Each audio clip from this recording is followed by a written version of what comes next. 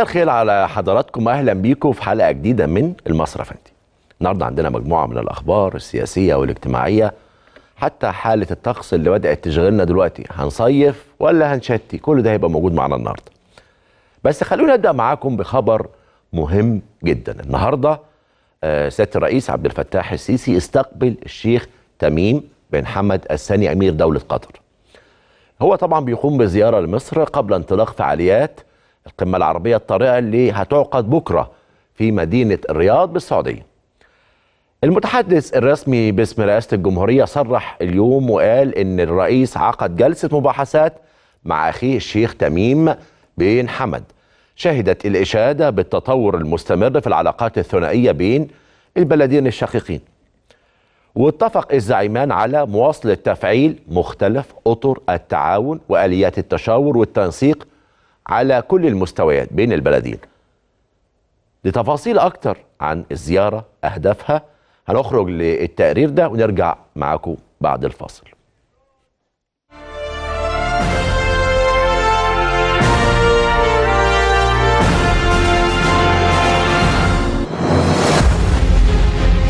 استقبل السيد الرئيس عبد الفتاح السيسي الشيخ تميم بن حمد آل ثاني أمير دولة قطر الذي يقوم بزيارة لمصر.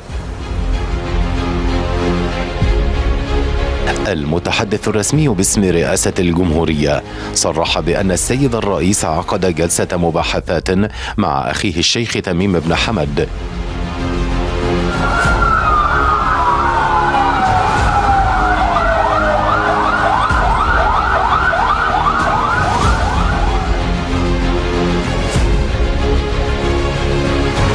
واتفق الزعيمان على مواصلة تفعيل مختلف أطر التعاون وآليات التشاور والتنسيق على كافة المستويات بين البلدين.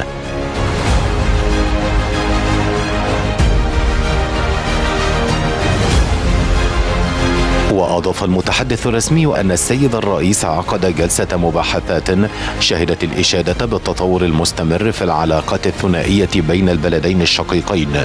وفي ذلك السياق بحث الزعيمان تصعيد العسكري الإسرائيلي في قطاع غزة وما يرتبط به من تحديات إقليمية تدفع بالمنطقة في اتجاهات خطيرة وغير محسوبة.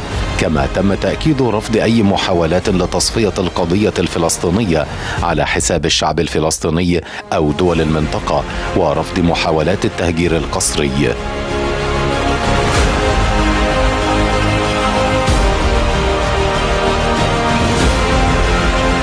واختتم المتحدث باسم رئاسة الجمهورية تصريحاته بالإشادة إلى أن الجانبين أكدا استمرار التشاور من أجل وقف التصعيد الراهن للحد من معاناة المدنيين وحقنا لدماء الشعب الفلسطيني الشقيق وصولا إلى إقامة دولته المستقلة وفقا لمرجعيات الشرعية الدولية وتحقيق السلام العادل في المنطقة.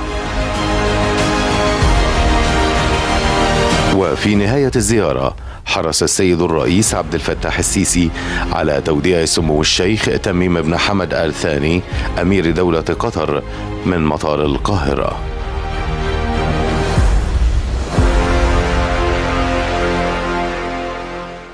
ده كان تقرير عن زيارة أمير قطر إلى آه، مصر. طيب معانا دلوقتي الدكتور بشير عبد الفتاح الخبير بمركز الأهرام للدراسات السياسية. والاستراتيجية دكتور بشير مساء الخير عليك أولا. مساء الخير على حضرتك وعلى السادة المشاهدين الكرام. دكتور بشير قول لي شايف زيارة أمير قطر لمصر آه، النهاردة؟ يعني إيه الهدف منها؟ آه، خصوصا أن إحنا طبعا في ظل وضع متأزم في المنطقة. طبعا آه، الزيارة آه، تأتي في سياق المساعي المصرية القطرية اولا. لتوثيق عرى التفاهم والحوار المستمر والمتبادل بين الدولتين. في مختلف آه، القضايا علاوة على أن التوقيت الحالي يكسبها أهمية خاصة حيث آه، يعني يشتد أو تشتد وطأة العدوان الإسرائيلي على قطاع غزة ويعني تتعطل الجهود الدولية والإقليمية لوقف إطلاق النار في ظل الانحياز الأمريكي الأعمى للحكومة الإسرائيلية المتطرفة الحالية. وبالتالي هناك تحركات مصرية قطرية من أجل التوصل إلى هدنة ولو مؤقتة من أجل تبادل جزئي للأسرى املا في أن تؤسس هذه الهدنة المؤقتة إلى وقف لإطلاق النار يعقبه بعد ذلك تبادل أو إدخال للمواد الاغاثيه والإنسانية بحرية إلى القطاع ثم التمهيد للعودة مجددا إلى مائدة المفاوضات املا في الوصول إلى الدولة الفلسطينية.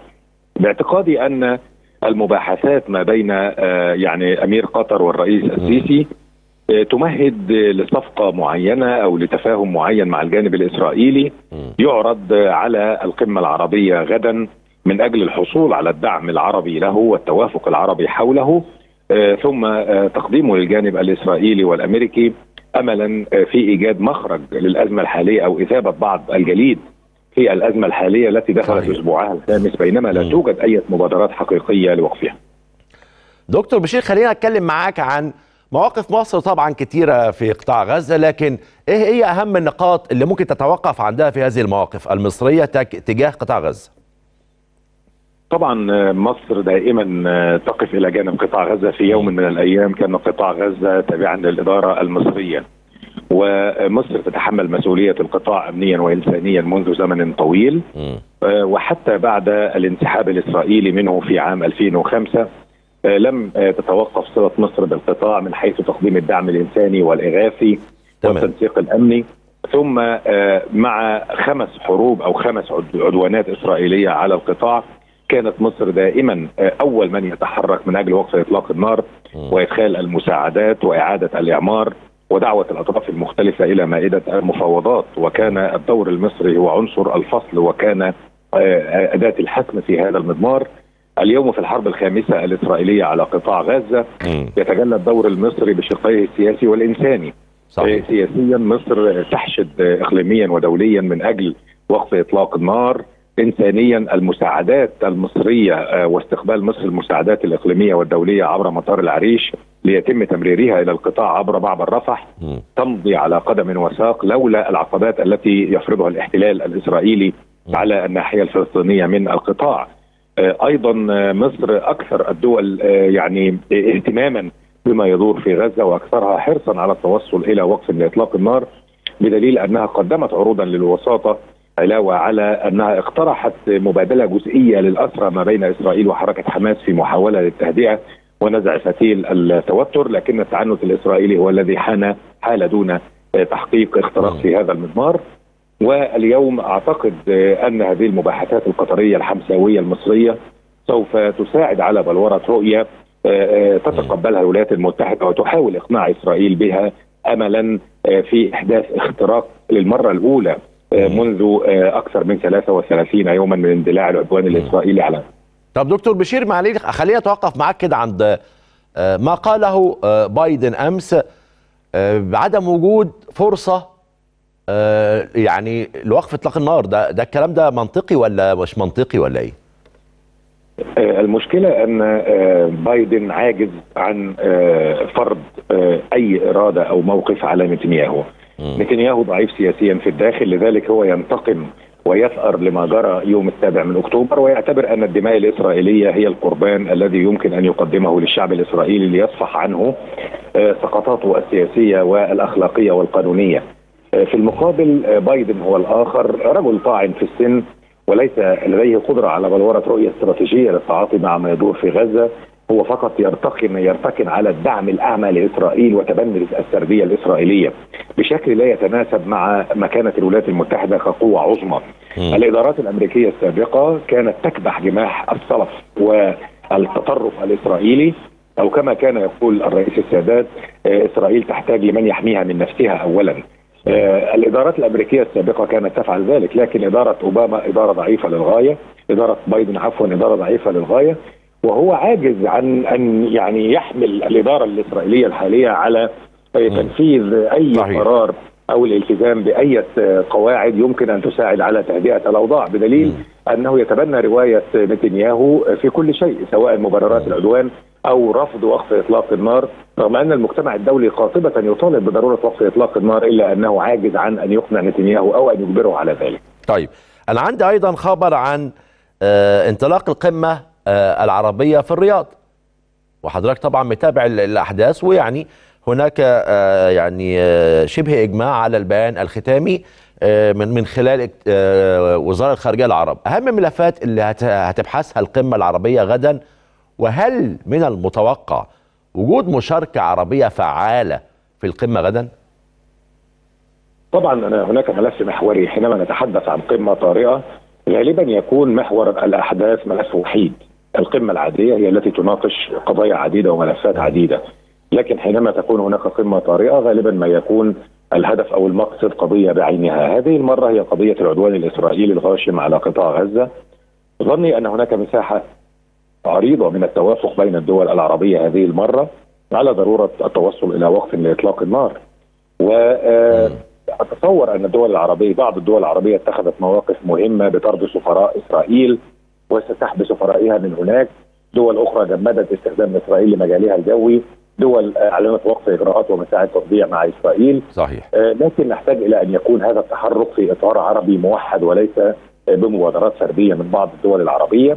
آه، لذلك يعني نتعشم أن تخرج هذه القمة بحزمة من القرارات الحاسمة والصا- والصارمة ضد إسرائيل على الصعيدين الدبلوماسي والاقتصادي صحيح أتصور أن يكون هناك مشاركة عربية لافته لأن الأمر لا يحتمل أي تقاعس علاوه على أن ارتدادات الأزمة الحالية في غزة على الدول العربية وعلى العالم آه، كله ارتدادات خطيرة للغاية اقتصاديا وجيوسياسيا.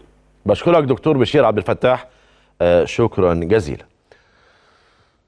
نتمنى نتمنى لقمة الرياض أنها تكون قمة آه، قوية يخرج منها آه، توصيات جادة على الأقل تسهم بشكل كب- كبير جدا مش كبير لا بشكل كبير جدا في إيقاف المهزلة التي تدور على الأرض في قطاع غزة. خلينا نروح لخبر تاني. النهارده في مصدر طبي في شمال سيناء. صرح وقال إيه؟ إن في 54 محتجز محتجز من المصابين الفلسطينيين في مستشفى العريش العام وكمان المصدر الطبي أشار إلى إجراء 52 عملية جراحية متنوعة للمصابين آه، داخل المستشفى. منها عمليات إيه؟ نوعية. منها عمليات إيه؟ تبقى نوعية يعني صعبة شوية. وقال إن غالبية المصابين بغرف العناية المركزة والقسم مميز بالمستشفى تحت الرعاية الطبية الكاملة وتم تحويل تسع حالات لمستشفيات الرمد في بورسعيد والمعهد ناصر بالقاهرة بينما تماثلت للشفاء تسع حالات. وقال أيضا ويوجد في المستشفى حوالي كام؟ 28 طبيب من أربع جامعات المنصورة وجامعة الأزهر والقاهرة والزقازيق بالإضافة للمعاهد الطبية التعليمية. خلي بالكم مصر استقبلت أكتر من 100 مصاب. وإصابات الحروب يا جماعة إصابات شديدة للغاية. أنت بتتكلم على واحد يعني مضروب بدانة مدفع مضروب بصاروخ واقع من طيارة بقذيفة موجهة. أنت بتتكلمش على واحد واقع من بلكونة.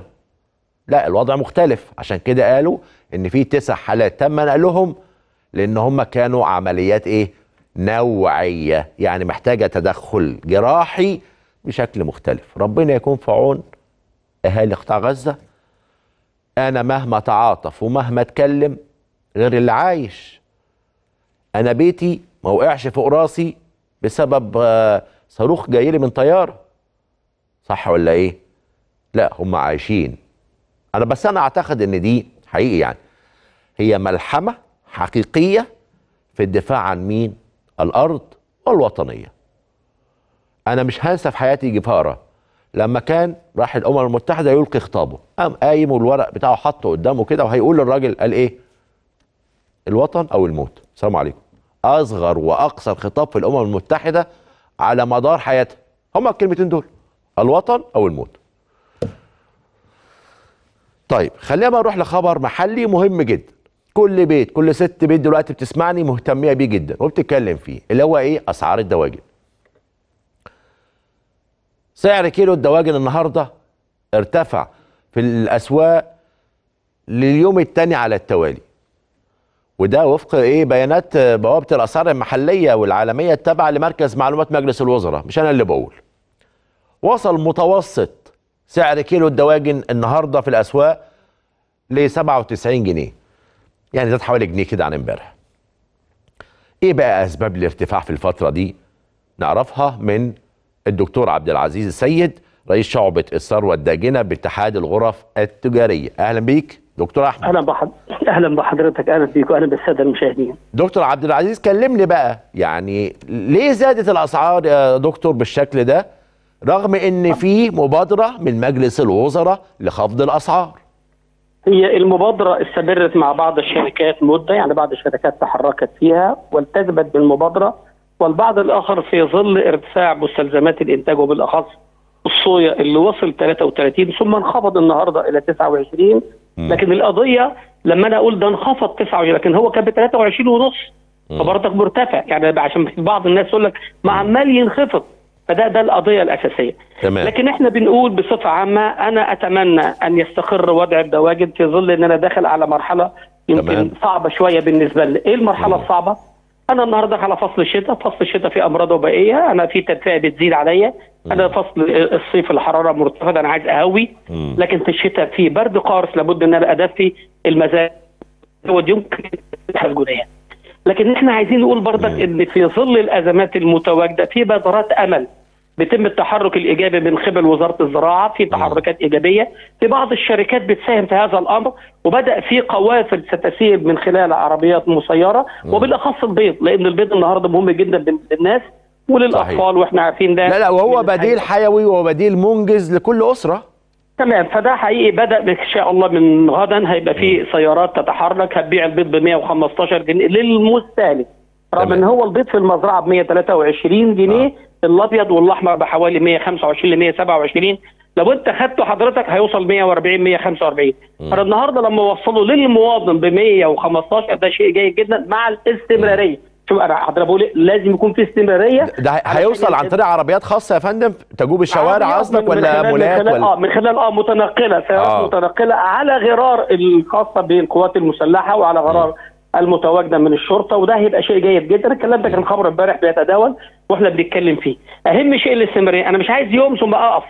لا أنا عايز استمرارية عشان يرجع طيب دكتور عبد العزيز في سؤال مهم الناس بتسأله لنا نعم. إحنا دلوقتي زيادة إنتاجنا من الفول الصويا زاد بشكل كبير جدا وده كان جزء كبير من التكلفة اللي كان معجزة شوية صناعة الإعلاف إن إحنا ما كانش عندنا فول صويا مظبوط تمام طيب دلوقتي إحنا لما زودنا الإنتاجية ليه برضو السعر الإعلاف لا، ما. قلش حضرتك الزيادة قد إيه؟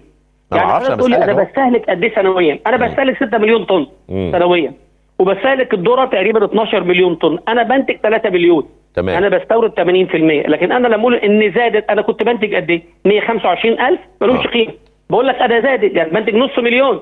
نص مليون من خمسة ونص.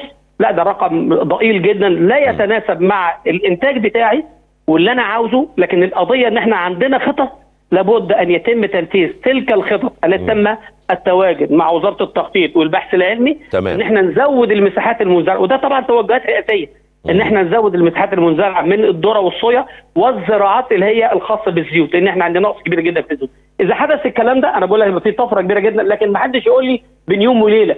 لا أنا عندي لا. خطة على الأقل. ما فيش حاجة بيوم وليلة يا دكتور عبد العزيز ده مستحيل يعني. ما أنا بقول لحضرتك عشان أنا مفيش ده. للمستهلك. آه. بنوضح للمستهلك. أنا أقصد أنا بوضح للمستهلك. خلي بالك إحنا عندنا خطة. الخطة إن شاء الله إن شاء الله أنا أملي في الله سبحانه وتعالى مم. إن خلال ثلاث سنوات يبقى أنا عندي اكتفاء ذاتي من الصويا ومن الذرة. ده هيبقى شيء جيد جدا. لو زودنا المساحات المنزرعة من الذرة والصويا وأنا بقول لحضرتك يبقى شيء طفرة كبيرة جدا بالإضافة أقل كمان الزيوت لأن أنا الصويا أنا باخد منها زيت. تمام. بس زيت الصويا. فده ممكن يقلل نسبة الاستيراد من الزيوت والذرة والصويا وده هيقلل العبء على الميزانية العامة للدولة صحيح. وهيقلل ال- القيمة الاستيراديه ده ده يبقى شيء جيد جدا. بشكرك دكتور عبد العزيز سيد نعم. شكرا جزيلا. عندي خبر برضه مهم. هختم بيه آه، الفقرة الإخبارية. اليومين دول وركزوا معايا شوية في الخبر ده منتشر دور برد بين الأطفال وحتى الكبار. ومحدش عارف ده دور برد عادي ولا فيروس مخلوي ولا حتى كورونا. ماشي.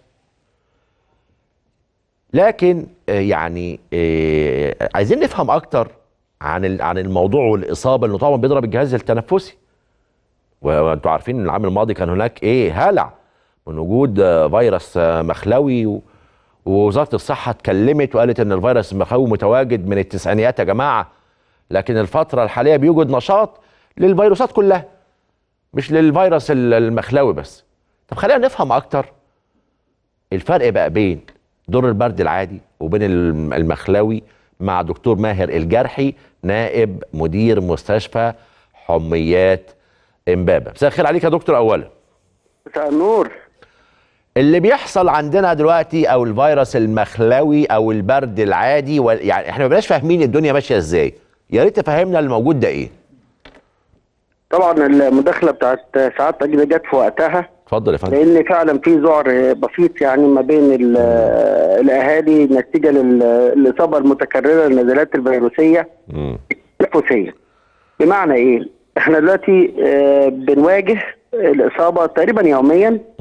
آه، بالنزلات الفيروسية آه، فاحنا عايزين نفرق بينها وما بين نزلة البرد العادية ونفرق يعني إيه هو الفيروس المخلوي وإيه. الكوفيد 19 المتحور وإيه هي النزلة البردية. طبعا آه، أهمهم النزلة البردية دي بسرعة كده دي حاجة بسيطة خالص بيحصل ارتفاع في درجة الحرارة في الأطفال. أو الكبار السن ارتفاع درجة الحرارة ياخد ال- المهدئات للحرارة وياخد آه، ال- العلاج للأعراض مفيش يومين ثلاثة أربعة بالكثير خمس ست أيام ويخف دي نزلة بردية عادية طيب. النزلة البردية العادية دي أعراضها إيه؟ للأسف اللي بي اللي بيبقى فيه مستيك شوية في الدكاترة أو ما بين ال- الأهالي إن كلها بيبقى غالبا في الأول متشابهة بمعنى ارتفاع في درجة الحرارة سيلان في الأنف بتلاقي في احتقان في الحلق مم. آلام حادة في الجسم الزور بيوجعني آلام حادة في الحلق وفي مم. نفس الوقت مش قادر أبلع وفي شوية كحة موجودين بس الكحة دي ليها نوعين في كحة ناشفة نتيجة لالتهاب الجهاز العلوي التنفسي.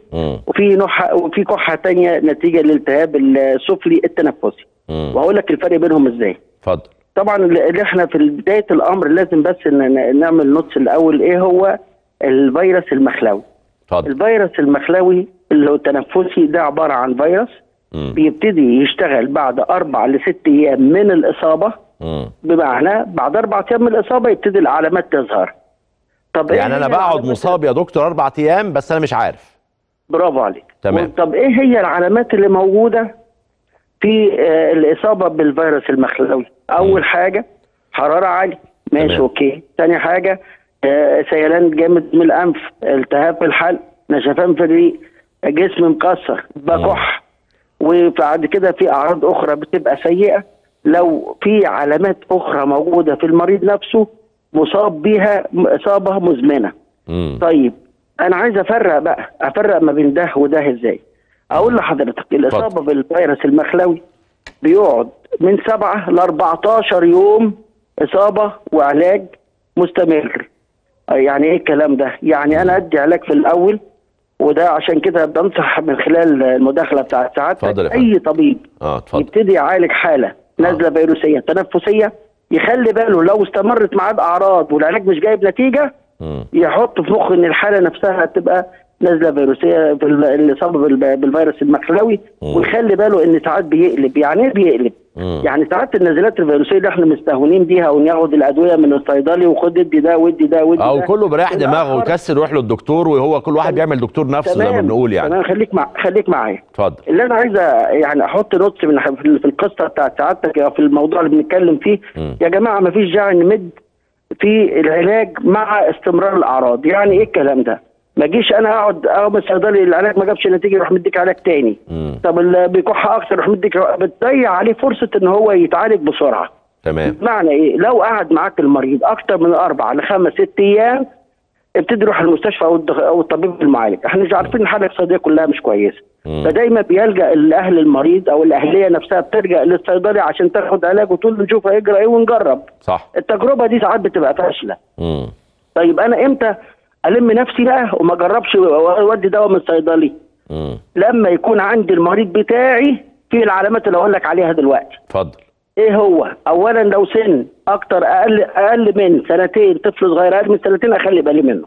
لازم. الدكتور يكشف عليه. أقل من إيه؟ من سنتين. سنتين. تمام. أو واحد كبير في السن أكبر من 65 سنة أخلي بالي منه. تمام. أو واحد عنده أمراض مزمنة زي أمراض القلب. أمراض الرئة المزمنة سد تمام. رئوية عنده الكبد عنده المشاكل في الدم عنده بعد أورام بعد ألف شر على السامعين كلهم فبالتالي ده لأ ده أنا أخلي بالي منه وأوديه للطبيب المختص. طيب أنا بقول لحضرتك إمتى بقى ندي العلاج ونجرب ونشوف الأخبار إيه. لو واحد يانج يعني سنه شاب كده وفي نفس الوقت أنا مش عارف ده مخلاوي أو غير مخلاوي معيش إمكانيات مادية يكشف عند الطبيب. هديله حاجات وأخصها يا نزل الحرارة زي الباراسيتامول لأنه آمن خالص. واديله بقى إمتى أدي مضاد حيوي؟ اتفضل. أدي المضاد حيوي لما ألاقي الحرارة معلقة معايا آه. وابتدى البلغم يتغير في شكله. يعني لازم يبقى في حرارة يا دكتور صح؟ لازم يكون مع المخلوي ده, لازم يبقى فيه حرارة عالية. آه، طبعا. بس تمام. مع كبار السن ساعات ما بيبقاش فيه حرارة. تمام. خلي بالكم من الحتة دي مع كبار السن آه. ساعات ما بيبقاش فيه حرارة. تمام. لكن أنا عايز أقول خلي بالك من حتة مم. مهمة قوي. لون البلغم بي بي بيفرق معانا قوي. الصق اللي بيظهر أثناء الكحة آه. بيفرق معانا في شكله. بمعنى تمام. لو أبيض ما تخافش منه. تمام. لكن لو أصفر أو أخضر أو أي لون تاني أبتدي أدي antibiotics لأن كده قلبت معايا بإيه؟ bacterial infection تمام. يعني بدل ما كان فيروس قلب معايا ببكتيريا. صحيح. فخلي بالي خلي بالي خلي بالي إن ساعات التهاون في آه، اتخاذ العلاج المناسب للحالات دي قد صحيح. يؤدي إلى الوفاة. طب أقول لك إزاي؟ اتفضل بيبتدي الأكسجين نفسه بيقل نتيجة آه. للإصابة جامدة ويقلب بالتهاب رئوي بكتيري. فبالحالة دي كل ما ابتديت ب antibiotics المناسب للحالة كل ما كان أنا عملت cover كويس على المريض بتاعي صحيح. ومنعت إنه يدخل في حاجة اسمها فشل تنفسي يبقى لازم أهم من ال... من إن أنا آه، يعني قصدي أروح للصيدلي لا الأول لازم أروح للدكتور وهو طبعا الدكتور اللي يحلل لي الوضع بالظبط لأن أنا عندي مشاكل كتيرة. بشكرك دكتور ماهر الجرح شكرا. آه، جزيلا. هختم بحاجة صغيرة في أقل من دقيقة اللي إحنا نوهنا عليها في بداية الحلقة اللي هو الأحوال الجوية. نصيف ولا نشتي؟ آه خلاص الشتاء بقى على الأبواب. خبراء هيئة الأرصاد قالوا إيه بقى؟ إن النهارده هيسود طقس آه، مائل للحرارة نهار على القاهرة الكبرى والوجه البحري. معتدل على السواحل الشمالية وهيبقى حر على جنوب سيناء وشمال آه، الصعيد. كمان توقع خبراء هيئة الأرصاد إيه؟ أن يسود طقس لطيف في أول الليل مائل للبرودة في آخره على آه، شمال البلاد لحد ما نوصل للصعيد. على شمال الصعيد هيبقى شديد آه، البرودة يعني أيضا بالليل. وهيبقى لطيف إمتى؟ على جنوب سيناء وجنوب آه، الصعيد. كمان توقع خبراء هيئة الأرصاد آه، إن يكون آه، أو مش توقع بقى هيقول إن اليومين الجايين ممكن يكون برضو فيهم نسبة برودة أكتر شوية. يبقى نخلي بالنا من الشبوره ونخلي بالنا من الأمطار لأن إحنا كل سنة وحضراتكم طيبين خلاص. بدأنا ندخل موسم الشتاء اللي بجد. كده إحنا آه حلقتنا آه آه يعني فقرتنا عفوا الإخبارية انتهت. عندي بقى حلقة أو فقرة نارية حقيقية هنتكلم فيها بكل وضوح وهنعرض كل الملفات مع ضيوفنا الكرام حوالين ال franchise ال- الاستيراد الصناعة جوه مصر. هن البراندات دي هل نغيرها ونعمل براندات مصرية ولا لا؟ أحسن لنا. ما بيقول لك في أوكرانيا روسيا قامت داخلة بعد كده قامت شايلة براندات كتيرة وتحط براندات مكانها. طب إحنا عندنا فعلا شركات قادرة على إنها تنافس البراندات دي ولا مش قادرين؟ طب إحنا في المياه الغازية بيقولوا آه في شركة قادرة. طب في الباقي في ولا مفيش؟ هنفتح مع حضراتكم في الفقرة الجاية دي كل الملفات وكل الأسئلة اللي حضراتكم عايزينها مع آه، الأستاذ محمد رضا المحلل السياسي أو الدكتور محمد رضا آه، المالي عفوا وهيبقى معانا الأستاذ أحمد شيحة هو رئيس طبعا آه، شعبه المستوردين باتحاد الغرف آه، التجارية. هنتكلم فيه في كل حاجة لكن بعد الفصل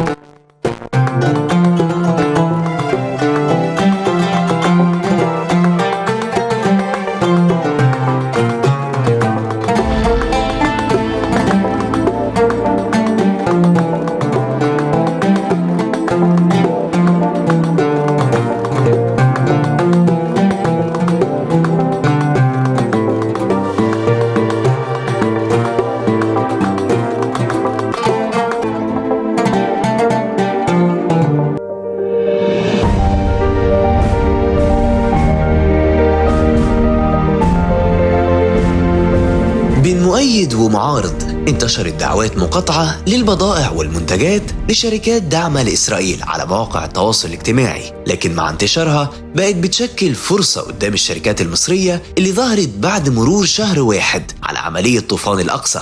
اتغيرت بعدها خريطة التجارة والإنتاج في مصر. المقاطعة رجعت مئات ماكينات الشركات المصرية للدوران والإنتاج وجذب استثمارات. عشرات العلامات التجارية المصرية ظهرت في السوق بعد مقاطعة الشركات الأجنبية. ودي فرصة للشركات المصرية إنها تعمل رابط بينها وبين المستهلك. وده طبعا هيصب في مصلحة الاقتصاد المصري بتقليل الضغط على العملات الصعبة للاستيراد.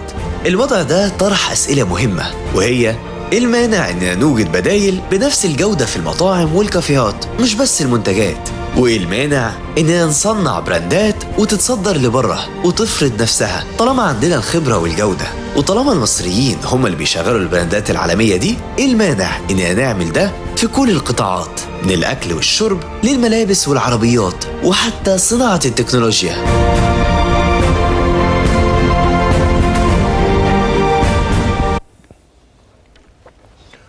ورجعنا لحضراتكم بعد الفاصل.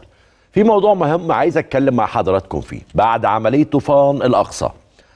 المصريين عاملين حاجة من تلقاء نفسهم. هم اللي قرروا يعملوا كده. أطلقوا حملة لمقاطعة المنتجات والعلامات التجارية.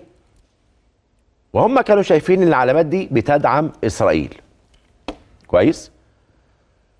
المهم أعلنوا إن هم إيه هيقاطعوا الحاجات دي كلها. وبعد شهر واحد خريطة البيع أو التجارة زي ما بنسميها أو حتى ما يسمى بالإنتاج في مصر اتغيرت بشكل كبير جدا. كويس. شفنا مثلا مئات المنتجات أو البراندات المصرية اللي أخذت فرصتها بقى وبدأت تظهر وتنتشر في كل القطاعات. علامات بقى تجارية كتير ظهرت في السوق. من أول بقى المشروبات الغازية والمنتجات الغازية ومستحضرات العناية الشخصية الصحية. وزادت أيضا المطالب بإحياء بقى الإيه؟ الصناعة المصرية. قال طب ما إحنا نقدر أهو. وبرضه مش كده. لا نعمل براندات نصنع إحنا براندات ونستغل الفرصة. صح ولا إيه؟ ونعمل ارتباط مع المستهلك. ونوقف بقى استهلاك الدولار والنزيف الدولار ونقعد بقى ده بقى ب 40 ده بقى ب 50 لا رجع 20 إحنا مالنا ومال الكلام ده. ونبطل بقى استيراد وحصص بقى الفرانشايز والتوكيلات اللي أنتوا عارفينها ده. هو الكلام اللي أنا بقوله ده ممكن يتحقق ولا لا؟ ولا دي مجرد موجة؟ مش هنقدر نكملها. وبعد كده كل واحد يرجع زي ما كان. إيه المانع نحاول في كل القطاعات؟ إيه المشكلة إن إحنا نحرر نفسنا من إن إحنا نبقى تابعين لاقتصاد معين يتحكم فينا بشكل ما؟ عن المقاطعة وال franchise وصناعة الفرصة. هيدور حوارنا النهاردة مع ضيوفي الأستاذ أحمد شيحة رئيس شعبة المستوردين بالغرفة التجارية. أهلا بيك يا فندم. منورني ومشرفني ومعانا دكتور محمد رضا المحلل المالي المتخصص في مشروعات ال franchise. أهلا بيك. أهلا بحضرتك شرف وجودي معاك. هبدأ معاك. أستاذ أحمد عايز أعرف يعني إيه خلينا نبدأ بالمبادرة الشعبية. أولا هي خرجت من رحم الشعب. يعني ما كانش في توجيه حتى الاعلام ما تدخلش ما فيش حد. وقرروا إن هم يقاطعوا منتجات بعينها كمان يعني. شايف المبادرة دي تمت إزاي أو كان تأثيرها إيه؟ هو أعتقد المبادرة دي مبادرة نبعت من الشعب واللي بتشوفه في في غزة والمذابح والمجازر اللي بتتم يوميا في كل ساعة مش كل يوم. وعشرات الآلاف من الجرحى والقتلى. فده يعني ده تعاطف أو يعني مساندة للشعب الفلسطيني اللي كل يوم كل يوم بنشوف أرقام غير طبيعية. ودمروا تقريبا غزة بالكامل تحت مسمى حماس وإن حماس بتدافع عن نفسها. فدي كانت مبادرة من الشعب زي ما انت قلت حضرتك كده غير موجهة. محدش قال لهم روحوا ولا انزلوا ولا عملوا. خالص. ودي ودي وده يبين معدن ال- الشعب المصري الأصيل إن هو يعني بيساند على قدر الإمكانيات المتاحة ليه لأن طبعا موضوع ال- الحرب المسلحة وإنه يروح ويحارب ده فيها يعني أمور كتيرة جدا ممكن تعوق هذا الإحساس مع إن في شباب كتير جدا من الشعب المصري نفسه يروح عشان يدافع عن الشعب الفلسطيني المسلم العربي. ودي أعتقد هي مبادرة جيدة بتبعت رسالة بتقول إن إحنا يعني مش راضيين عن الحرب اللي موجودة دي واللي بيمولوا الحرب دي. مم. يعني المقاطعة جاية للشركات الكبيرة الفرنس- العالمية اللي هي مستحوذة على حجم كبير جدا من حجم التجارة وحجم الاقتصاد في دول كتير جدا سواء في أفريقيا ولا في أوروبا. وفي مصر برضو مستحوذين بحجم كبير جدا. فكانت أبسط رسالة زي ما حصل في 73 مقاطعة اللي هي أو البترول اللي استخدمها رئيس السادات مع الحكام العرب. آه، بس مع الحكام العرب كانت المقاطعة في منتج واحد اللي هو البترول كمنتج عالمي يعني بيجتمع عليه العالم كله.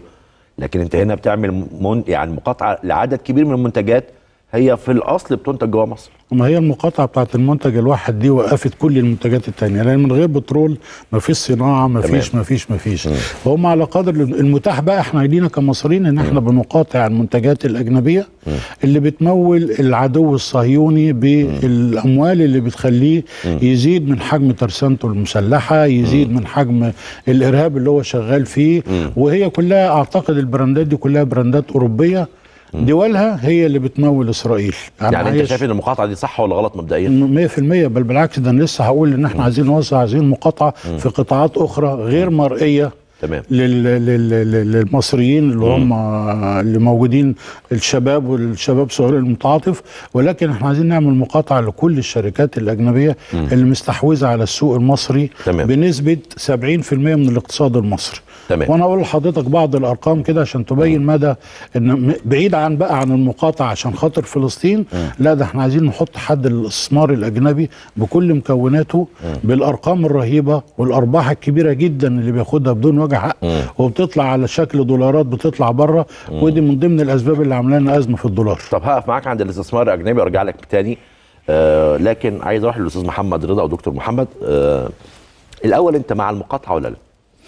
آه، المقاطعة أكيد كلنا مع المقاطعة. كوجهة نظر النهاردة المقاطعة أثبت حاجة واحدة بس هي القدرة على التنفيذ. آه، فكرة نجاح المقاطعة من عدمها النهاردة إدت رؤية كنا بننادي بيها من زمان هو تحولنا لاقتصاد صناعي مم. وشوية بشكل كبير يمكن حتى القيادة السياسية بدأت تستوعب ده بشكل كبير وبدأت تطلق مبادرات في دعم الصناعة المصرية مم. طب النهارده دايما كنا بنتكلم الصناعة المصرية وأزمة الجودة وأزمة كبيرة جدا كنا بنتكلم عليها النهارده بشكل كبير كدولة عملت إجراءات تمنع شوية عملية الاستيراد وبرده ما كانتش جيدة إنها رفعت عليها بعض الرسوم وغيره فعلت سعرها. النهارده فكرة استمراري في المقاطعة من عدمه هو معيار الجودة. بمعنى إيه؟ النهارده ممكن أقاطع شهر اتنين. ولكن في النهاية الجودة هي اللي هتحركني. جودة المنتج المصري قصدك؟ طبعاً. الموجود اللي إحنا بنستخدمه كبديل؟ اكزاكت.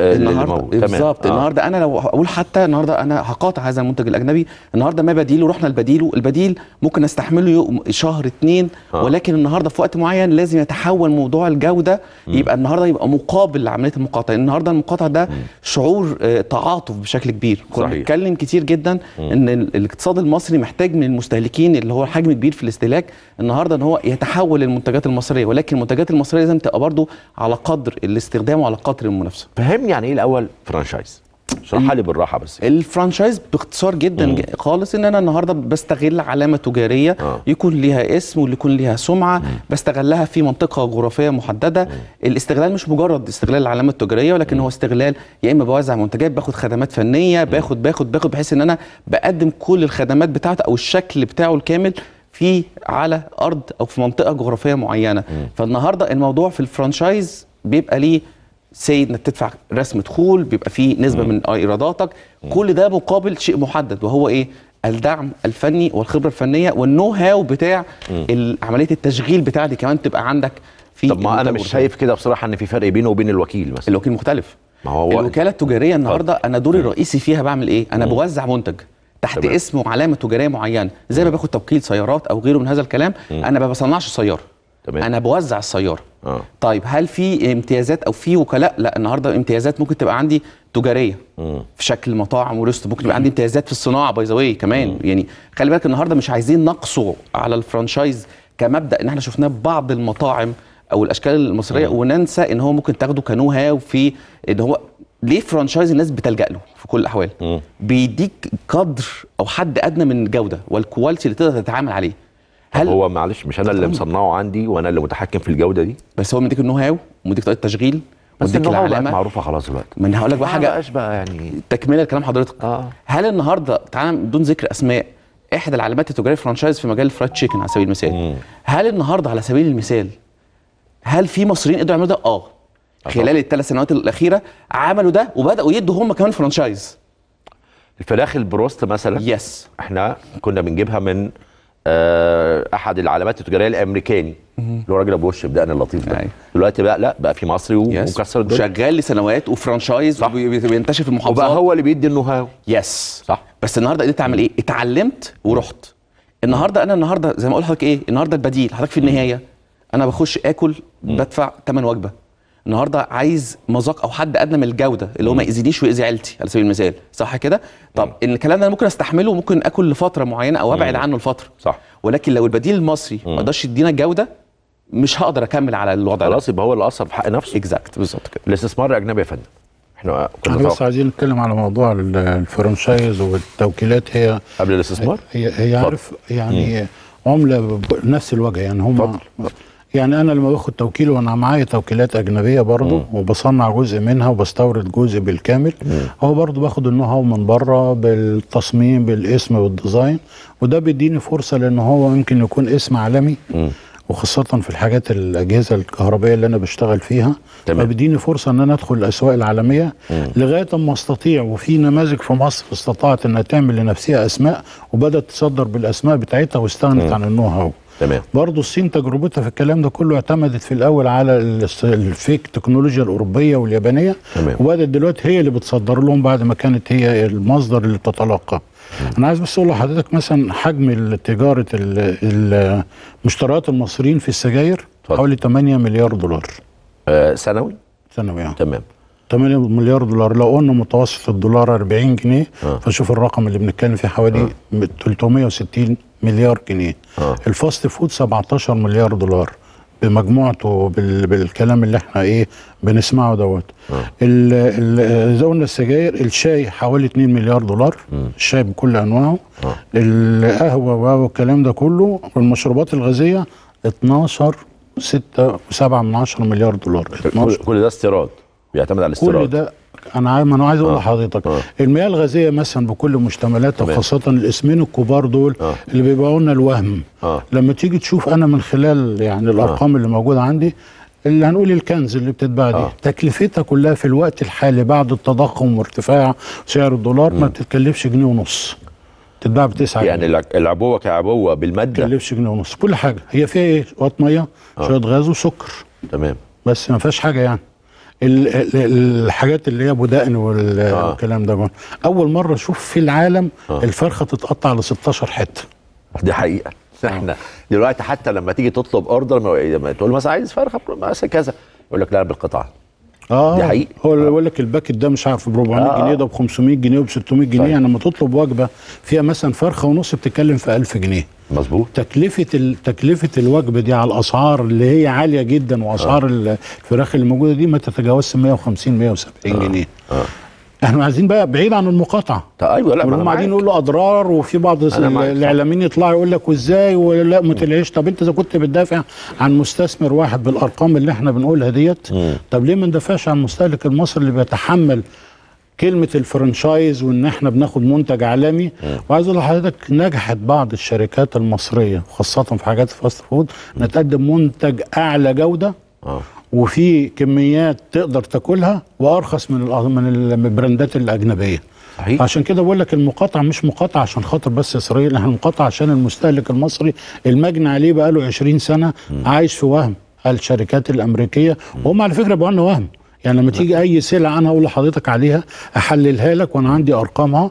هتلاقيه بياخدوا سبع وثمان وعشر أضعاف السعر ك- كمكسب بيعود عليه حضرتك يا أحمد بيه إحنا بنلاحظ الحاجات دي إمتى أما والدتي مثلا هي اللي تيجي تعمل نفس المنتج عندي بلاقي فرق السعر رهيب جدا زي ما حضرتك بتقول إحنا لجأنا ال- ال- ال- الأولاد بعد ما كانوا آه. آه. كل حاجة يقول لك لا هنجيب من الكلام كل يوميا يعني آه آه دلوقتي قلت لهم طب أنتوا عايزين تاخدوا الحاجة دي فجبنا المنتج المصري اللي آه. آه. بنفس المواصفة وبنفس التتبيلة واتعملت السندوتشات المصرية 15% من التكلفة بتاعت آه بره بالظبط والولاد بدأوا يقتنعوا الولاد قالوا إيه ده ده إحنا كان بيضحك علينا آه. برضه لما اتكلمت معاهم في موضوع البيبسي هم برضه خريجين جامعات أمريكية ولسه إيه مشغولين بالدعاية. بتاعت موضوع المياه الغازية ده طبعاً لسه، آه. والكلام ده كله قيس على كده بقى حاجة كتير جدا أنا قلت لك شفت المياه الغازية حجمها قد إيه آه. أرقام مخيفة طبعا أرقام مخيفة في إيه لما تيجي تشوف بقى تكلفتها أنا بقول لحضرتك وعندي الدراسة بتاعت التكلفة إن إحنا كنا بنفكر نعمل مصنع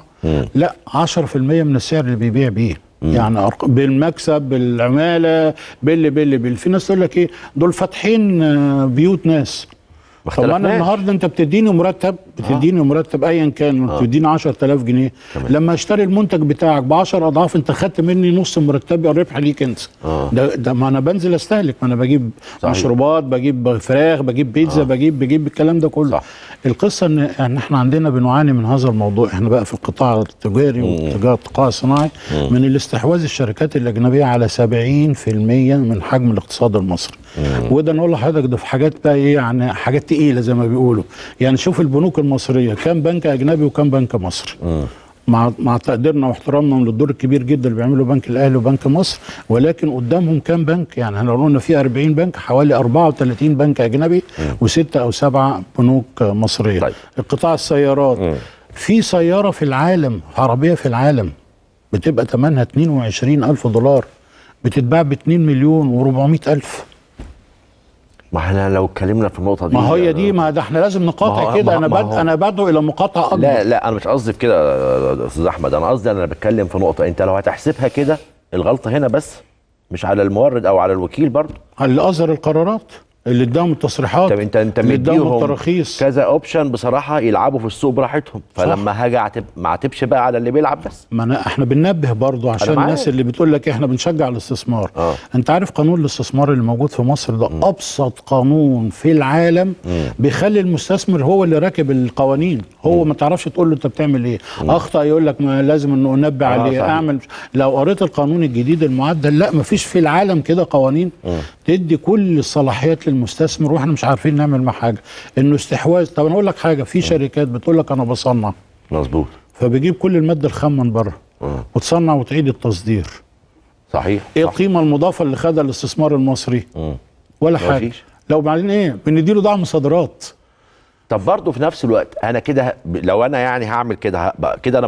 بطفش المستثمر ولا ولا بجيبه آه، هو أنا بقول يجي. يجي بقوانين أنا و- وضوابطي أنا ومصلحة بلدي اولا آه. ومصلحه المستهلك أو آه، ثانيا آه. يجي أهلا وسهلا هيجي بقى هو حاطط رجل على رجل وياخد كل التسهيلات والتيسيرات وياخد إعفاءات من الجمارك إعفاءات من الضرائب آه، بضاعته بتدخل من غير الجمارك وكلها مكونات يستفيد من الاتفاقات الدولية اللي بيننا وما بين الدول اللي هي بدون جمارك وبياخد دعم صادرات يعني آه، آه، عشان أنا عايش في هذا الموضوع أيوة. أيوة. بربح فعشان كده بقول لحضرتك إيه أنت ليه يا مصري ما تد... أنتوا يا مسؤولين ما تدوش الفرصة للمستثمر المصري؟ المقاطعه في خلال شهر عملت نتيجة. آه. أنتوا لو اديتونا فرصة إن إحنا ن... ن... ننافس مش هنقول امنعوهم ننافس. قد المنتج ده بكذا وإحنا المصريين هيعملوا بكذا. وبجودة أعلى من الجودة اللي صحيح. إحنا بيعملوها ده في مشكلة كبيرة جدا عاملينها اللي هي ال... ال... ال... ال... الموضوع بتاع ال... ال- التسوق الإلكتروني. آه آه آه. البيع والشراء عادي على المواقع الإلكترونية اسعار والحاجات لا لا لا ده نروح حضرتك المشكلة في إيه؟ أنت آه. حتى لما بتجيب المنتج حتى لو سلعه آه. إلكترونية لا معاك آه شهادة ضمان ولا في مركز صيانة. وبعدين تجي لك الحاجة خلاص دفعت ثمنها لو فيها عيب ما تعرفش هتكلم مين. طبعا. غير لما يكون هنا المصريين اللي هم عندهم الوكالة بتاعتهم بيصونوا وبيحفظوا لا قدامي موجود. قدامي هعرف بيته فين ومركزه بالظبط فين. وهجيبه حتى. الملابس اللي بتيجي ولا. الأحذية بتبقى في في الصورة بشكل. صحيح. وفي الواقع بشكل, بشكل تاني. خالص. هرجع للدكتور محمد.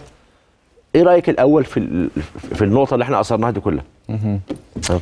آه، بص عايزين برضو لما نيجي نتكلم على الموضوع نفرق بين حاجتين مهمين. آه. نتكلم كم فرق ما بين ان إحنا بنس ممكن نستورد آه، بعض ال- المنتجات الجاهزة ونبيعها طول في السوق المصري. آه. وفرق إن في بعض المنتجات بيتم تصنيعها جزئيا أو كليا في السوق المصري. يعني خلينا. برضو نفرق ما بين الاثنين ده تفرقه كبيره جدا. يعني النهارده على سبيل المثال وكل دول المنطقة اللي بتحاول دلوقتي تعمل دوت النهارده إيه المشكلة؟ إن أنا النهارده أجذب استثمار أجنبي. هو ده معيار من المعايير القوية جدا اللي بتدعم أي دولة. يعني النهارده كان اعتراضنا على مدار الخمس سنين اللي فاتوا إن يمكن الحكومة كانت بعد عن ال FDI أو ال foreign direct investment أو الاستثمار الأجنبي المباشر صحيح، صحيح. وبتركز بس- على بعض الاستثمارات الغير مباشرة بس إحنا ما دول قلناش كده يا. دكتور لا لا ما أنا هقول لحضرتك لا النقطة ده دي. مش الحكومة اللي بعدها هم اللي بيجوا بيستثمروا في الاستثمار السريع أيوه أنا قلت إنما الحكومة ادالهم كل سنه تعالوا استثمار لا مباشر بص لك حاجة النهارده طب قول لي بس. التسهيل آه, آه. آه. التسهيل وفكرة إن أنا أسهل أو غيره آه. ما هو أنا المستثمر الأجنبي ما يجيش عندي بس ممكن يروح الامارات ممكن يروح تركيا ممكن يروح أي دولة تانية. ليه؟ ما دايما آه. لازم تسال نفسك ما ينفعش أقفل نفسي وأنا في منطقة فيها تنافس على سبيل. المثال. النهارده أنا النهارده لما بقدر أجذب مستثمرين أجانب ينتج ويصنع. مم. ما اولا انتج وصنع ويركز على الصناعات كثيفة العمالة. ما النهارده شغلني شغل عمالة. والعمالة بقى عندها purchasing power عندها قدرة شرائية. تنزل تشتري منتجات فبالتالي حركة السوق بتختلف. النهارده لما في ناس بعض الأصوات اللي طلعت رافضة لعملية المقاطعة. ليه؟ مم. هو هل الناس اللي رافضة ديت هل حد يشك في وطنيتهم أو إيمانهم بالقضية لا الفلسطينيه لا لا إحنا ما مستحيل. بنتكلمش في كده. ما- مستحيل. لا، لا، لا. هو بيتكلم لا، في لا. الشق الثاني آه. اللي هو إيه؟ إن دي مؤسسات موجودة بتطلع من نفترض من 5 ل 15 ل 20% من إيراداتها بس لل... لل... لل franchise اللي بره ولكن في عمالة مصرية. طيب تعال نبص على روسيا. روسيا عملت إيه؟ كان عندها كمية franchise مش طبيعي. وحصل إن بدأت الحرب بتاعتها في أوكرانيا آه. دخل مستثمرين محليين استحوذوا على هذه العلامات التجارية. غيروا اسمائها الاسماء محلية واشتغلت تحت ال- ال- الولاء. الوطني أو تحت آه. القصة الوطنية. وحافظ على العمالة وحافظ على الشكل. النهارده النقطتين مهمين. النهارده بنيجي نتكلم على فكرة مثلا تك... تكنيك بتاع صناعة. آه أنا النهارده في صناعات اجانب مستثمرين أجانب بيجي يصنع في مصر يدخل المواد الخام. آه ويصدرها. طب آه. أنا استفدت بتشغيل العمالة استفدت بضرائب استفدت استفدت بكل ده. طب أسألك قدرات. بس سؤال مباشر. أنا دلوقتي بتكلم في أو اختلافنا مع وجهة النظر النظر دي في نقطة واحدة. أنا بتكلم في إن أنا كراجل مستثمر هاجي مصر. المنتج ده أنا بصنعه جوه مصر بس ببيعه ب 100 جنيه. كويس. نفس المنتج ده المصريين في محلاتهم بيصنعوه بنفس الخامات بي- بيعملوه ب 40 جنيه. هو تمام بيصدروا هو- بكام بقى؟ أبو 100 جنيه. هو بيصدر ده بكام أنا خليه بس الأول جوه. آه ده أنا فأصبح الكلام. هو عشان هو حاطط اسمه عندي ال brand ده مكتوب على المحل ده مثلا فأصبح بياخد مني 60 جنيه مثلا. صح. بلا وجه حق. ده قصدي ده الاختلاف بس. هو أي حد في الدنيا ممكن أنا أعمل كان بيبسي وأقول أنا دي ماده عايز أقول الأسماء بس الأول كان بي... ما- كان كان يعني بماء غازية. ماده غازية آه. وبيعه. لا. مم. النهارده اولا ب... ب... في حاجة اسمها ال weight بتاع العلامة التجارية. تمام. السمعة اللي أنا بنيتها في السوق. النهارده لما كنت بتكلم من شوية عن بعض الحاجات بتاع fried chicken أو ال- ال- ال- ال- الدواجن. اللي هي ال- الطهاه فالنهاردة قدروا يعملوا لنفسهم weight للعلامة التجارية. يعني. إيه ويت إداها وزن وقيمة. فالنهاردة المحل الصغير اللي موجود في منطقة بيبيع برضو الفرخة دي ممكن يبيعها ب 10 والراجل المصري الأصيل اللي هو بيبيعها ب 60 آه. ليه النهارده قدر يعمل وزن وكواليتي وشكل العلامه التجاريه النهارده باختصار جدا ما تعالى نتكلم بكل صراحة اتفضل بالعكس وإحنا جايين أكتر؟ حاجة آه، من المقاطعة دي عجبتني جدا بس آه. أكتر حاجة حزنتني طب ما أنت كان عندك وقت تدعم اقتصادك وتدعم آه، بدل ما عندك أزمة في الدولار بهذا الشكل كان ممكن ت- من بدري كمواطن مصري خايف على بلدك قبل ما تكون مجرد بس إنك بتدعم دولة أخرى؟ وعايز أقول لك حاجة أستاذ نظر. دكتور محمد ما كانش هيعمل كده. أنا بقولك صح؟ ليه؟ أنا بقولها لك أهو، لأنه ما وصلوش. الإحساس ده. آه. ما وصلوش الإحساس إن مدى الفارق مم. والتوعية اللي ما وصلوش إن هو هو إيه الفارق لما أشتري ده وأشتري ده؟ لا ما أنت النهارده بتشتري ده أنت بتاخده في حتة تانية خالص. آه. طب تعال نتكلم على هل البديل المصري في كل الصناعات سواء أساسية أو غير أساسية موجود؟ مش موجود في الكل تعال نتكلم إحنا اتكلمنا على مثال المياه الغازية. هل في بديل مياه غازية؟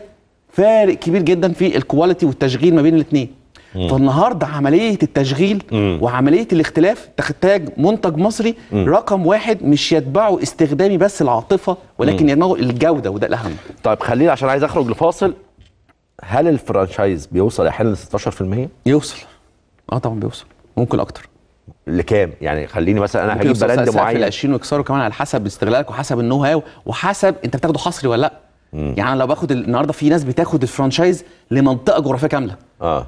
زي إحدى ال ال ال أنا لو هاخد مثلا علامة تجاريه الراجل اللي هو الراجل أبو دقن أو الإم مثلا وات ايفر على مستوى الجمهورية مثلا. كويس. ممكن توصل معايا لكام انت النهارده بالنسبة لك انت على حسب أنا كطاهر اهو. اللي خدت جمهورية مصر العربية مصر اللي العربية. آه. مفترض إن المعترف بيه بتاعك من 4 ل 5% هو ده اللي هو المعلنه عالميا. آه. ولازم يبقى عندك سيولة 750 اراوند 750 الف دولار وبتدفع من 500 ل 2.5 مليون دولار آه، حق دخول بس. حق دخول بس. حق دخول. لا بتاخد بس تبدأ تمضي مع العقد يعني. نخرج لفاصل ولسه مكملين معاكم لسه في نقاشات كتير.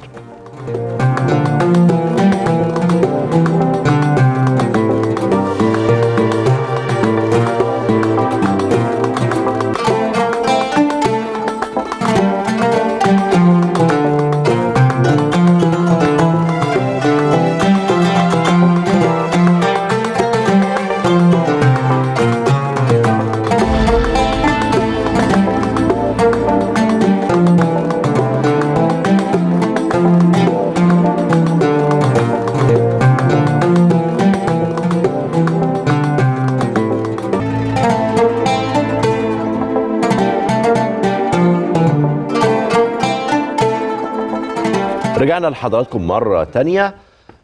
وهبدأ سؤالي للأستاذ أحمد شيحة رئيس شعبة الم- المستوردين بالغرفة التجارية. من خلال نقاشاتنا وبرضه حضرتك طرحت آه، وجهة نظر معينة. آه، الاستثمار مثلا زي ما بتقول لما بيجي جوه مصر هل هو بيغطي على المس... علي أنا كمستثمر؟ هل هو بيفيدني أنا كمواطن مثلا؟ ولا لأ هو المفروض إن هو تجارة برضه وسوق حرة وكل واحد شاطر يكسب بط- بطريقته. هو هو إحنا ما بنقولش مش عايزين استثمار أجنبي. آه. بس عايزين ندي فرصة للمستثمار المصري إنه ينافس الاستثمار الأجنبي. عشان في النتيجة السوق أو المستهلك محتاج جودة وسعر. إنما لما بيبقى في احتكارات وبيبقى مستحوذ هو على كل حاجة ما بيديش فرصة للمست- للمستثمر الأجنبي المصري إنه يظهر. ما بيديش فرصة إن الجودة للمصري يستفيد بيها لأن هو طبعا كل منتجاته بتتباع لأن هو بيبيع 90% منه دعاية. يعني أنت لما كنا بنتكلم على المياه الغازية بنقول سعرها هو الجزء ده في منه مثلا 50 60% منه دعاية بس. تمام. إنما لما تيجي تشوف التكلفة ولا حاجة اللي هو بيبيعها لك دي. وبرضه أبو دقن وغيره آه. واللي مش عارف إيه والفطير اللي زي ال- الفطير والحاجات دي. بالظبط آه.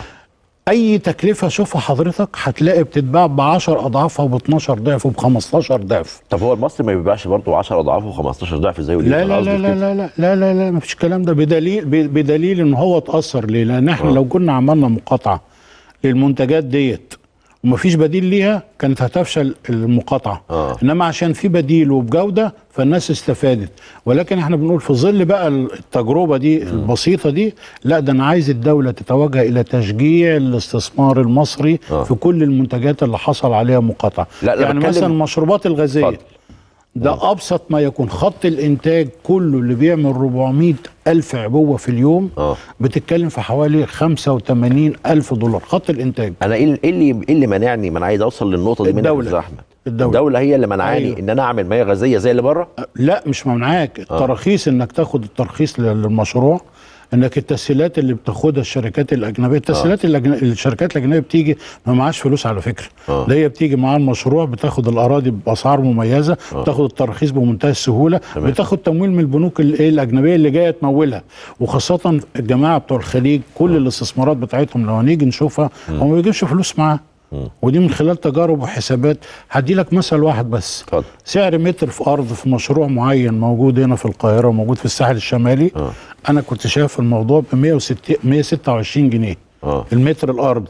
تمام. متر الأرض ده بيتباع في المشروعات ب 200 ألف جنيه و250 ألف جنيه. شوف بقى شوف الدنيا عاملة إزاي.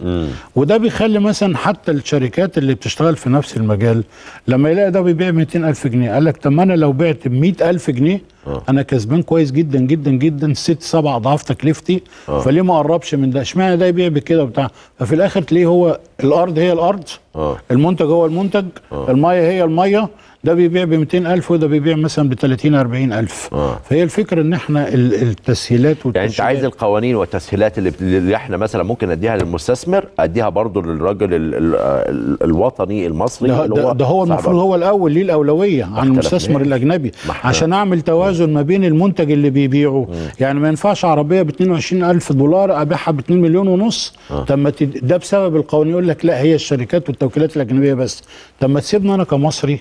وعندي وعندي ما عنديش وكالة لأن الوكالات دي بتبقى محتاجة وضوابط معينة. أروح أستورد. خلي كل واحد مصري يستورد عربية. أنا بقول لك لو صدر القرار ده الأسعار هتنزل بكرة للنص. طب أنت كده 2 مليون. هتلغي الوكيل يا فندم. ما يتلغي. ما ما ما, ما, يلتزم الوكيل زيه زي زي الدول اللي حوالينا. يعني أنا أروح أجيب عربية من دبي ولا من السعودية ولا من الأردن ولا من آه. عمان ألاقيها ب 35% من السعر اللي بيتباع في مصر. ليه؟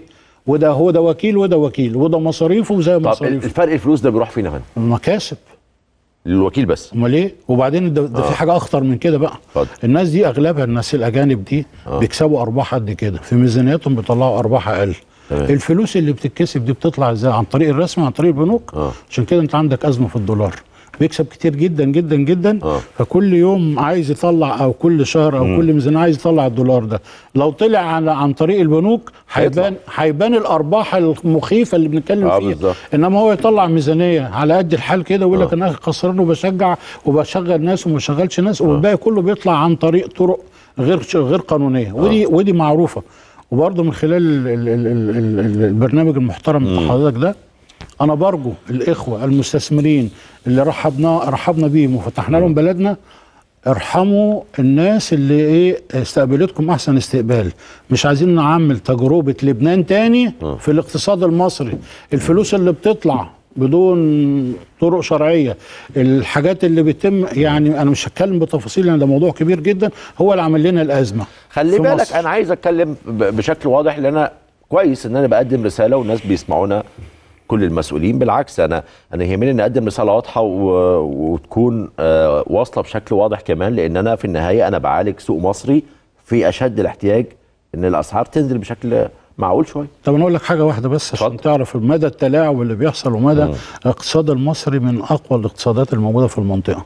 الإمكانيات في مصر هي الدولة الوحيدة في الفترة اللي جاية دي إن مصر اقتصادها يطير.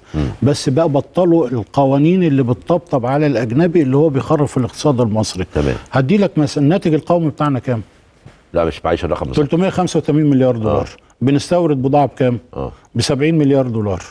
تمام. ده يعني في الوقت الحالي. تمام. الفرق من 70 مليار دولار زائد المكون المصري بينتج لنا حوالي 400 مليار دولار. يعني تكلفة المنتج وتكلفة الاستيراد والزائد ال- الأجور والعاملين وبتاع اتكلم في 150 مليار دولار. طب ال 250 مليار دولار دول بيروحوا فين؟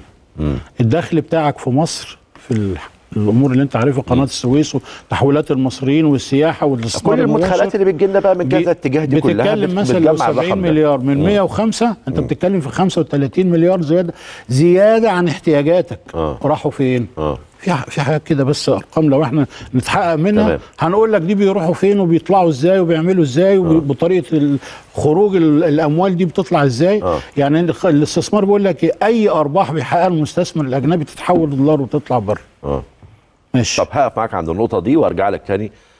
أستاذ محمد هو طب أنا كده أستثمر ولا أصنع؟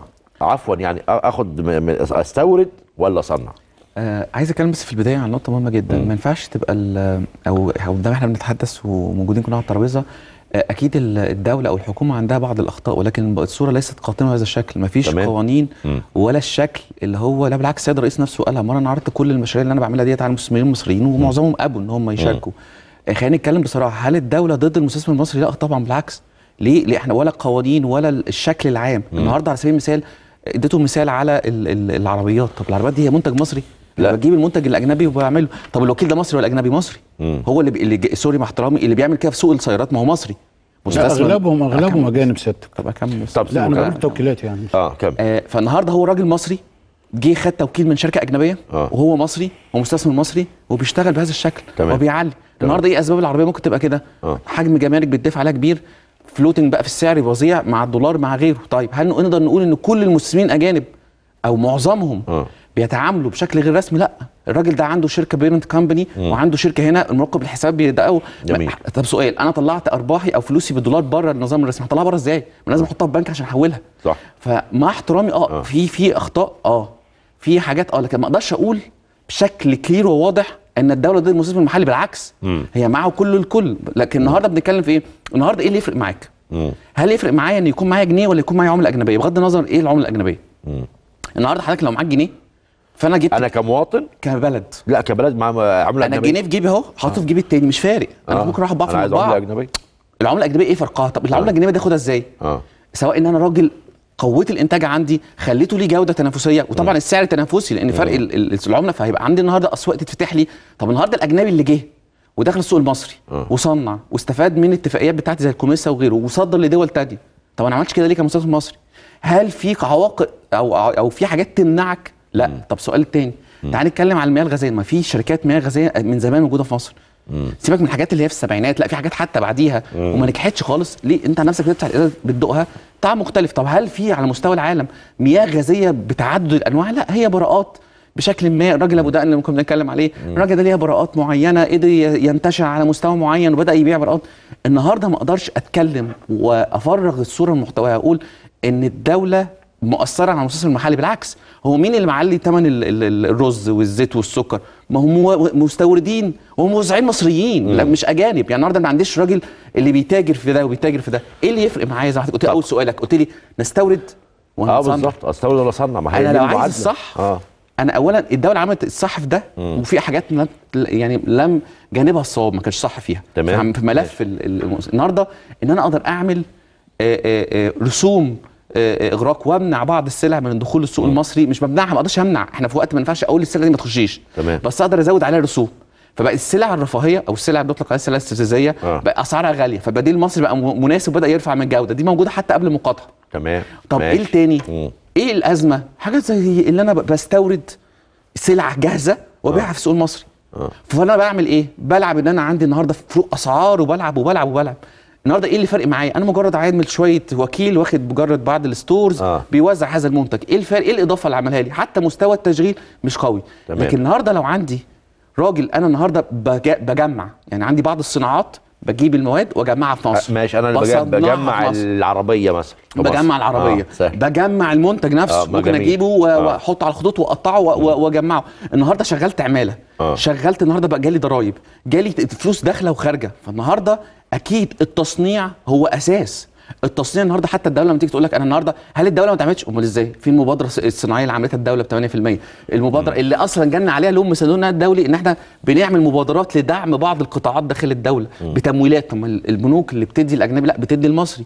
بتدي لل SMEs أو مشروعات صغيرة ومتوسطه 5% آه. وبرضه المصري بيتلاعب على هذه المبادرة بيبقى شركات كبيرة وتروح تتلاعب عشان تاخد ال 5% طب السؤال يا دكتور محمد. خلينا بس نتكلم بقى بواقعية. أكيد. لأن أنا هنا عندي وجهتين وجهة نظر أنا بس بتتبنى. آه، ما دي أنا- أنا فرصة هرجع لك. أرد علشان في كلام كتير جدا لا يا باشا إحنا- تصحيح يعني. بص آه، يعني يا أحمد بيه إحنا جايين هنا عشان إيه؟ تمام. وضح للناس الر- الرؤية. لكن صاحب الاختيار مين؟ المشاهد.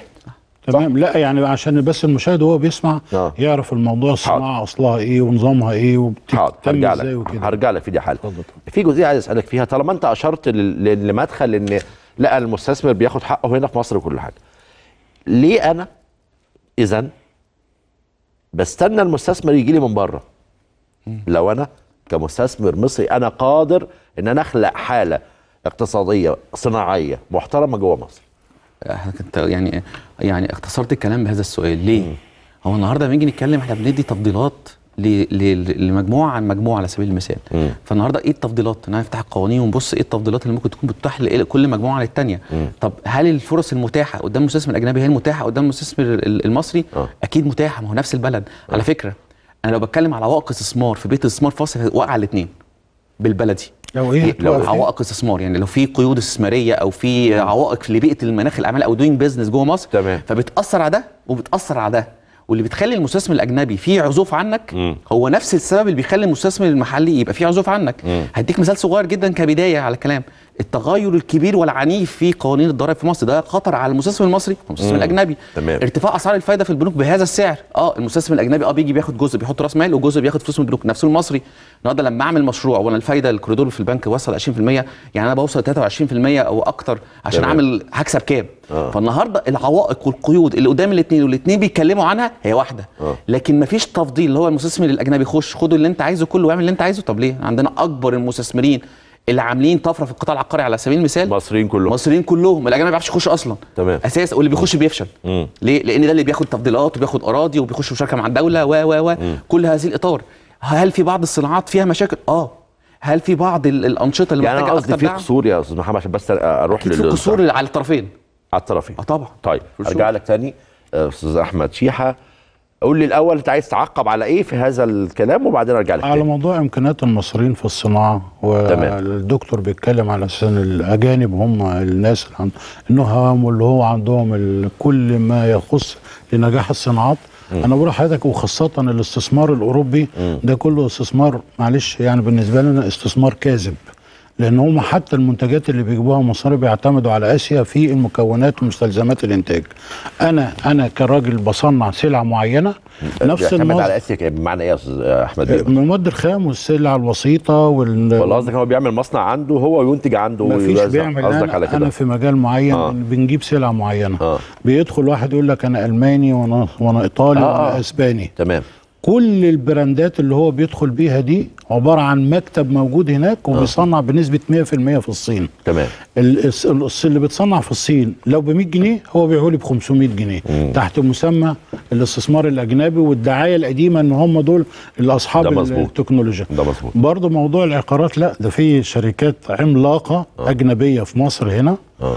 بتستثمر في المجال العقاري وأرقام كبيرة جدا. وممكن أنا قلت في الأول المثال دي شركة أجنبية اللي خدت المتر ب 120 جنيه على إيد لأن أنا كنت في المسات وبتبيعه 200 ألف جنيه دلوقتي. تمام. لا بس أنا قصدي إن المصريين في المجال ده متميزين. بس. نعم. أنا قصدي يعني المصريين في المجال العقارات لا متميزين برضه. جدا. آه. ما هو أنا أنا بقول إن إحنا عايزين ندعم المصريين. آه، آه. الفرص اللي بياخدها الأجنبي والتسهيلات أنا لو اديتها للمصري آه. طبعا أقول لحضرتك برضه اسم كبير جدا عمل مدينتين كبار جدا في مدينة نصر وفي طريق تمام. السويس دول يعني هو الوحيد اللي تقدم عشان يخلق فكرة المدن المتكاملة ونجح فيها نجاح مبهر تمام. ده خد المتر مثلا ب 1000 جنيه آه دخل مع الدولة وقال حسابة الاستثمار قد كده آه. ودخل نسبة بنسبة.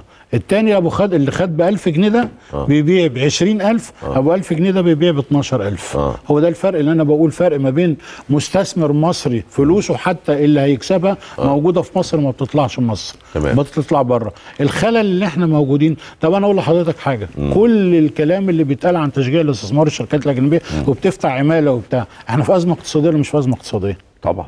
طيب. الدولار اللي, اللي, اللي ترتب على إن إحنا دلوقتي عندنا دين خارجي قد كده. عايز أقول لحضرتك أغلب الشركات اللي بتشتغل في في المجالات ديت آه. لما نيجي في قطاع الكهرباء معروف الشركة بتشتغل إيه؟ السكك الحديد شركات إيه؟ أنا بقول لحضرتك بيبيع السلعه بأربع خمس أضعافها. وبعدين بيقول لك بي بيقول لك إن أنا هاخد الفلوس بتاعتي بالعملة الأجنبية. بس مش كلها برضه يا أستاذ أحمد لا. كلها إيه؟ يعني ما بياخدش كل فلوسه يحولها عملة أجنبية بره مصر؟ أرباحها كلها. لا بيعتقد في نسب. يا باشا أرباح كلها مفيش الكلام ده كله. أنا في المجال ده أنا بتكلم من كلام أنا عايشه في الواقع. وبشوفه تشجيع الشركات ديت وحجمها إيه. يعني في مناقصات بتدخل. الموبايل دوت الشركة الأجنبية آه. بتبيعه ب 5 جنيه مثلا يعني؟ مثلا. أنا ابيعه ب 3 جنيه ونص ياخد الاجنبي ما ياخدش ده. طب ليه يا عم؟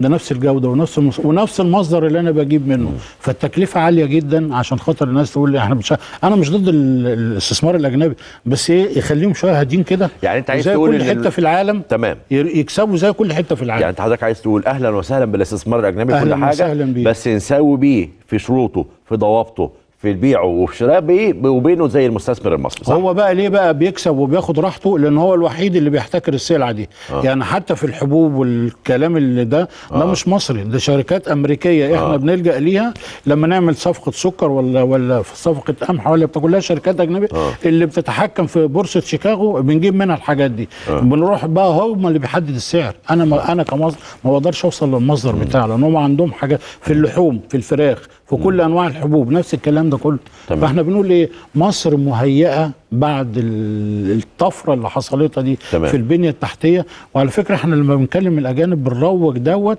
ونروج نجاح الاستثمار بتاعه في مصر بسبب المشروعات دي اللي الناس بتهاجمها. تمام. فاحنا بنقول ادونا. فرصة ادونا فرصة. نوجد البديل. ماشي. هو موجود وأنا موجود. هو يصنع وأنا أصنع. هو يتاجر وأنا القرار تاجر القرار الخاص اللي هو بإعفاء المشروعات الصناعية من الضرائب لمدة خمس سنوات اللي أصدره سياده الرئيس ما هو ده في صالح المواطن المصري.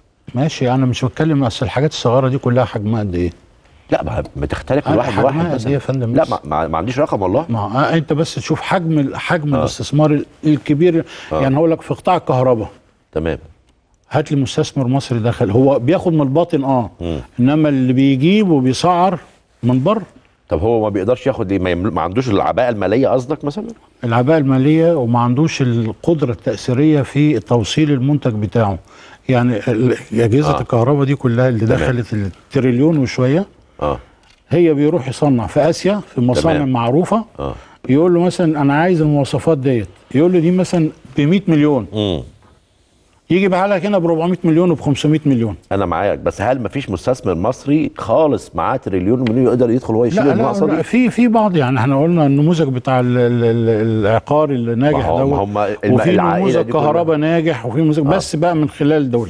يعني هو ما يقدرش يوصل على طول لازم يبقى في العباءة الأجنبية اللي بتفرضها الدول عليك المشروعات الكبيرة دي اللي هي أرقامها كبيرة أنا جدا معاك لأن طبعا برضه في حاجات في الاقتصاد في دول معينة بس أغلبها شركات من الباطن يعني أغلبها آه. اللي, بي اللي بينفذ شركات من من مصر والله بس والمستثمرين بتاخد جوه مصر. فتات الفتات ما بتاخدش الأرباح أنا الكبيرة قوي والمصريين حتى لما بياخدوا برضه بعض المناقصات برضه بيدوا حاجات من الباطل للمصريين دول ما إحنا عارفين. لا لا ما هو يعني ما فيش مشروع. كبير يقوم على على شركة واحدة.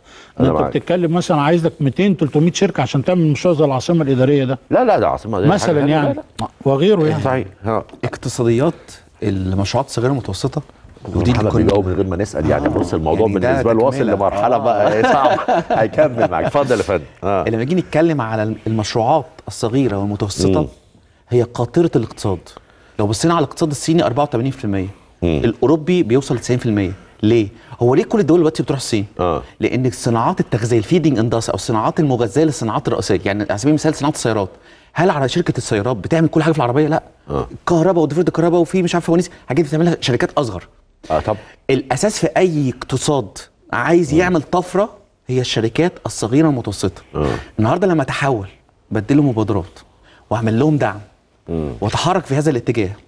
هل النهارده أنا ما باخدش الاقتصاد دي الاتجاه تاني لا. النهارده لما باجي بتكلم على شكل الاقتصاد المصري وشكل التبعية بتاعته وشكل التصنيفه بتاعته بشكل كبير جدا هو إيه اللي خلى الدولة برضه بتتلام عليها إن هي دخلت في بعض القطاعات؟ عن طريق اجهزه الدولة. لأن هي ما لقتش المستثمر المحلي ولا أجنبي يخش. فاضطرت إنها تدخل علشان تقوم بالدور ده وده مش مطلوب منها. ودلوقتي إحنا في دور تاني إن إحنا نتخارج مرة أخرى من هذه الاستثمارات عشان الدولة ما تكونش منافس للمستثمر المحلي ومنافس للمستثمر الأجنبي. فالنهاردة ما ينفعش نتكلم نقول الاقتصاديات الصغيرة والمتوسطه دي هي أساس أي اقتصاد. لو فتحنا الهيكل بتاع أي اقتصاد حتى الاقتصاد الأمريكي في حد ذاته وعنده يعني هيئة كبيرة جدا بتدعم وتقود هذا ال- الاقتصاد فهو بيتحرك في ده. النهارده مصر عشان تتحرك وتعمل عملية التحول. إحنا مشكلتنا الأساسية اللي خلت الاقتصاد بتاعنا يتهز. آه. في 2010 واستمرت معاه حتى هذه اللحظة في بعض التغيرات أو التقلبات السياسية وعقبها التغيرات الجيوسياسية هو إن إحنا كنا اقتصاد ريعي يعني اقتصاد خدمي. تمام. قمنا على السياحة لفترة طويلة بنعتمد على تحولات المصريين بالخارج بنعتمد على قناه السويس. النهارده تحولك لاقتصاد صناعي ببدءا بالمشروعات الصغيره والمتوسطه عندك اتفاقيات مصر حجم أي مستثمر عربي أجنبي يتكلم معايا بيقولش السوق المصري فيه 100 مليون. السوق بتاعك فيه 300 مليون. بيبص على اتفاقات ال- الكوميسا وده بتوصل توصل لغرب أفريقيا وسط هو أفريقيا. الصناعات الصغيرة والمتوسطة نقدر من خلالها نبني اقتصاد قوي؟ ده قاطره الاقتصاد. كويس. أصل اقتصادات ال mega أو sorry المشروعات ال mega أو الكبيرة مش هي اللي بتقود هي مش هي اللي بتوظف العمالة بحجم كبير. مش هي اللي بتقود الاقتصاد. يعني النهارده على سبيل المثال النهارده جينا قلنا ال- القطاع الكهرباء. آه. لا ده في شركة عملاقة مصرية مملوكة لعائله مشهورة مصرية هي اللي دخلت في معظم محطات الكهرباء وتمتلك حاجات لا طبعا إزاي هو مش مين؟ أجنبي هو وكيل مين يا باشمهندس؟ أنا ما بقطعش حضرتك لا ما لا، لا، بالعكس. بس يعني أنا ده لا، الكلام- لا، بالعكس، ده لحضرتك مهمة. بس الكلام اللي بتقوله فيه كتير جدا مش على الواقع الحقيقة يعني الشركة الكبيرة آه. آه. العملاقة اللي أنت بتقولها دي وراها مين وده اللي أنا؟ بتكلم عنه وراها وكيل ولا وراها لا قصدك وراها إيه؟ مش وكيل ورا ورا ملهاش وراها لا وراها الاثنين الكبار اللي هم الشركات المصرية الكبار مين اللي وراهم سيمنز وجنرال الكتريك لا دول الأجنبي اللي جه. ما هم اللي وراهم. لا هم دخل معاهم. في بعض ما الحاجات هو وراه بمعنى إيه؟ ما هي- ما يا هي وراه بس عشان ما خاطر الناس تبقى واضحة. عشان إحنا بنقول الكلام ما هو ده واحد. وبعدين هنا في مصر هات لي الصناعات الصغيرة والمتوسطه رغم كل الدعم ده آه. هات لي منتج بيتم تصديره بره طب أنا هات لنا بينزل السوق هات المصري. لنا منتجات هقول لك. حاجة جنرال إلكتريك جنرال إلكتريك بس بعد إذنكم هي ده أنا بعمل ألف طب مشروع ما تخليك صناعات صغيرة. ومتوسطة أنا معاك. ودرسناه بالطريقة الأجنبية اللي بره لأن كانت بتتعمل بطريقة أنت بتدي له شاب مش عارف حاجة وتقول له انتج بياخد المنتج مش عارف يبيعه فبتفشل بتفشل كل ال- ال- أنا المشروعات بتكلم في نقطة بس خليها عشان المشروعات دي برضو لها لها نقطة ثانية هن- هنتكلم فيها بوضوح يعني. الشركات الكبرى دي ما هو حضرتك نفسك أنت حضرتك يا أستاذ أحمد لما تيجي تاخد مشروع كبير مثلا أيوه. هتيجي تتعامل مع مين؟ ما انت برضه بتحتاج ادوات تجيبها من الشركات دي مظبوط؟ أكيد مليون في المية طيب ما هو بس هو أنا نفس بس أنا بس أنا بس أنا بس عشان خاطر أقول لحضرتك. إن في اقتصاد غربي موجه لما تيجي شركة خلينا بقى بالعربي كده زي اتفضل. سيمنز آه. بتشتغل بتورد لك قطر وبتورد محطات كهرباء. مش عارف إيه أنت مالك أنت من الحاجات دي ده هي بتروح تجيب تاخد المقايسه منك آه. وتروح تشتريها من بره من الدول الآسيوية تمام. الحاجة اللي مديها لك ب 100 جنيه بتاخدها هي ب 20 جنيه وأكتر من كده هي بتاخد تمويل من ال- ال- البنوك الآسيوية دي للمنتج بتاعه. مظبوط. يجي يبيع لك التمويل دوت اللي هو واخده على 10 سنين يبيعه لك على 8 سنين. واخد التمويل ب 3% يبيعه لك ب 6% أنا بتكلم عن الشركات الأجنبية الغربية اللي هي واقفة حال ال- الاقتصاد المصري.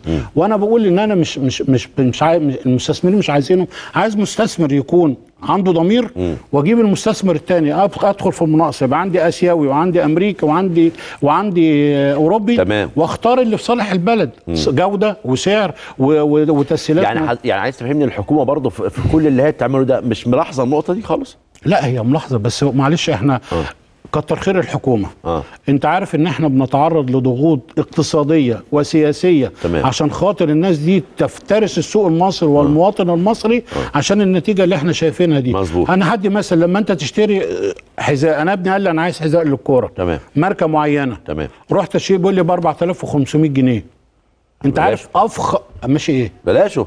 ما بلا بلاشه ليه؟ أنا هنا يعني بقى المس... ال- الراجل آه. الوكيل دوت اللي هو يعني بيفترس المواطن المصري آه. أنت عارف أعظم وأجمد وأحسن shoes بيتعمل هناك بره ب 12 دولار تمام اضرب 12 دولار في 50 يعمل كام مثلا؟ ما فيش في 50 خليني أقول 1000 وخمس 1000 ونص يبقى لي ب 4000 ونص ليه؟ آه آه البدلة اللي هي مش عارف بيقول لك ال market إيه بقى مثلا ب 30 40 ألف جنيه. آه، تمام. أعظم بدلة بتتباع ب 120 دولار اللي هي ال S 100 وال S 120 الجرافطه اللي بيبيعها لي ب 300 دولار ب 3 وب 4 دولار بس بيح... عشان يحط الاسم ده هو بيلبسني بيلبسها لي ب دي. 2000 و3000 جنيه. العصير البرتقال اللي بيتصنع في إحدى البراندات القهاوي اللي هي آه. جاية دي بيتعمل في مصانع مصرية. تمام.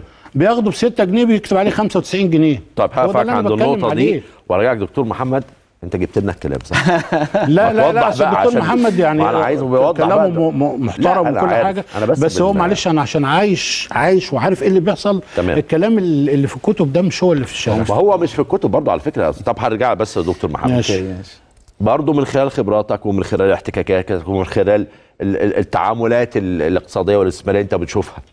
هل برضه كل ده اللي بيحصل فعلا مع مع المستثمر المصري هل هو ممنوع؟ وفي الأجنبي بياخد مميزات أكتر منه بشكل كبير مثلا؟ بص أنا بسال دايما كده في في بعض القنوات الاقتصادية في تعليق على البورصة المصرية يقول لي الت- التضخم آه، السيطرة عليه إزاي وأسعار الفايدة وكل الكلام ده برد عليهم رد واحد الأسعار الفايدة ورفعها مش هيواجه تضخم. يقول لي ليه؟ يقول له أنت عندك انفلات أسواق.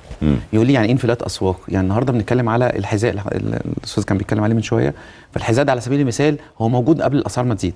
ومن قبل الدولار ما يزيد. ممكن يكون موجود عند الوكيل المصري by يعني هو راجل جنسيته مصري الوكيل. أنا فاهم. جاله فاهم. جاله سيك تكلفته ب 50 ساعتها هو مثلا ب 2000 جنيه. وساعتها الأسعار في الفترة الأخيرة مضطردة بتزيد شهريا على كل السلع. السلع تمام. موجودة في المخازن المصرية. صحيح. فندم، ليه لا لا لا, لا. طب كمل النقطة دي أنا- لا. بس عشان ما ما, ما نهاجمش المصريين لحضرتك حاجة- التجار الغلابة إحنا ما. هاجمناش يا دكتور إحنا بنقول لك ما في هو بعض معنى كده إن هو موجودة في المخازن أيوة. استحالة يكون في في المخازن وموجودة من مثلا من أيام الدولار ما كان ب 8 جنيه واجي اقيمه دلوقتي ب 50 جنيه لا ما هو مش موجودة من أيام ما كان ب 8 لا لا مش, مش. مش للرقم. ده مستحيل آه بص أنا بص يا دكتور أنا اولا لما بيبقى في حوار ما بحبش أقاطع طيب، ال- اتفضل. أنا مش يعني هقطع حاجة أنا بصح بس يعني لا لا يعني بتصحح يعني كل واحد ليه اتفضل نظره اتفضل. صح وأنا صح طب كملوا بس. إحنا في النهاية نطلع فاصل نشوف الموضوع قول، اتفضل قول الجزء الرئيسي في كل الأزمات اللي واجهت السوق المصري تعال خصيصا في السلع الاستهلاكيه اتفضل. كانت إن هي في مضاربة على تشحيح السوق ودي حاجات أثبتتها الجهات الرقابية. في- بمعنى إيه؟ يعني النهارده باختصار جدا أنا النهارده عندي حاجات عندي موجودة عندي هي نفس السلعة.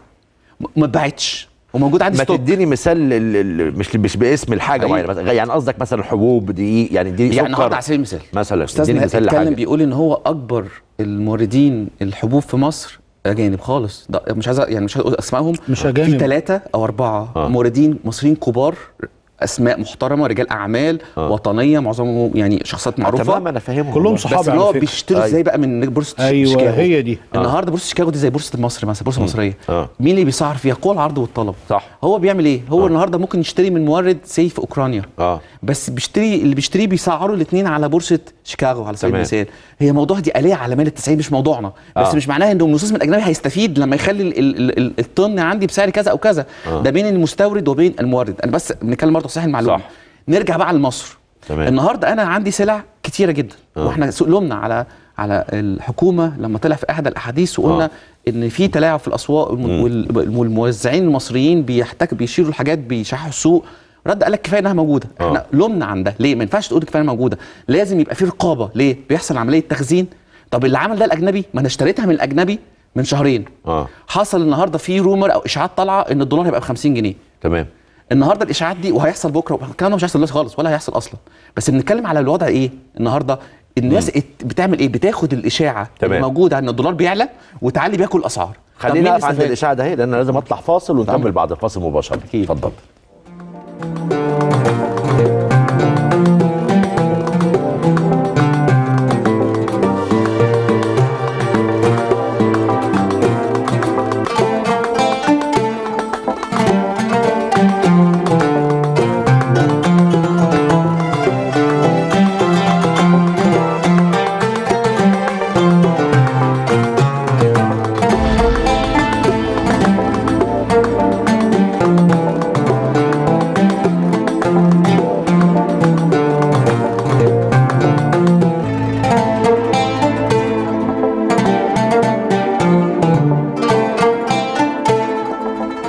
رجعنا لحضراتكم مرة تانية. هكمل كلامي مع الدكتور محمد. كنا بنتكلم قبل الفاصل عن الشائعة.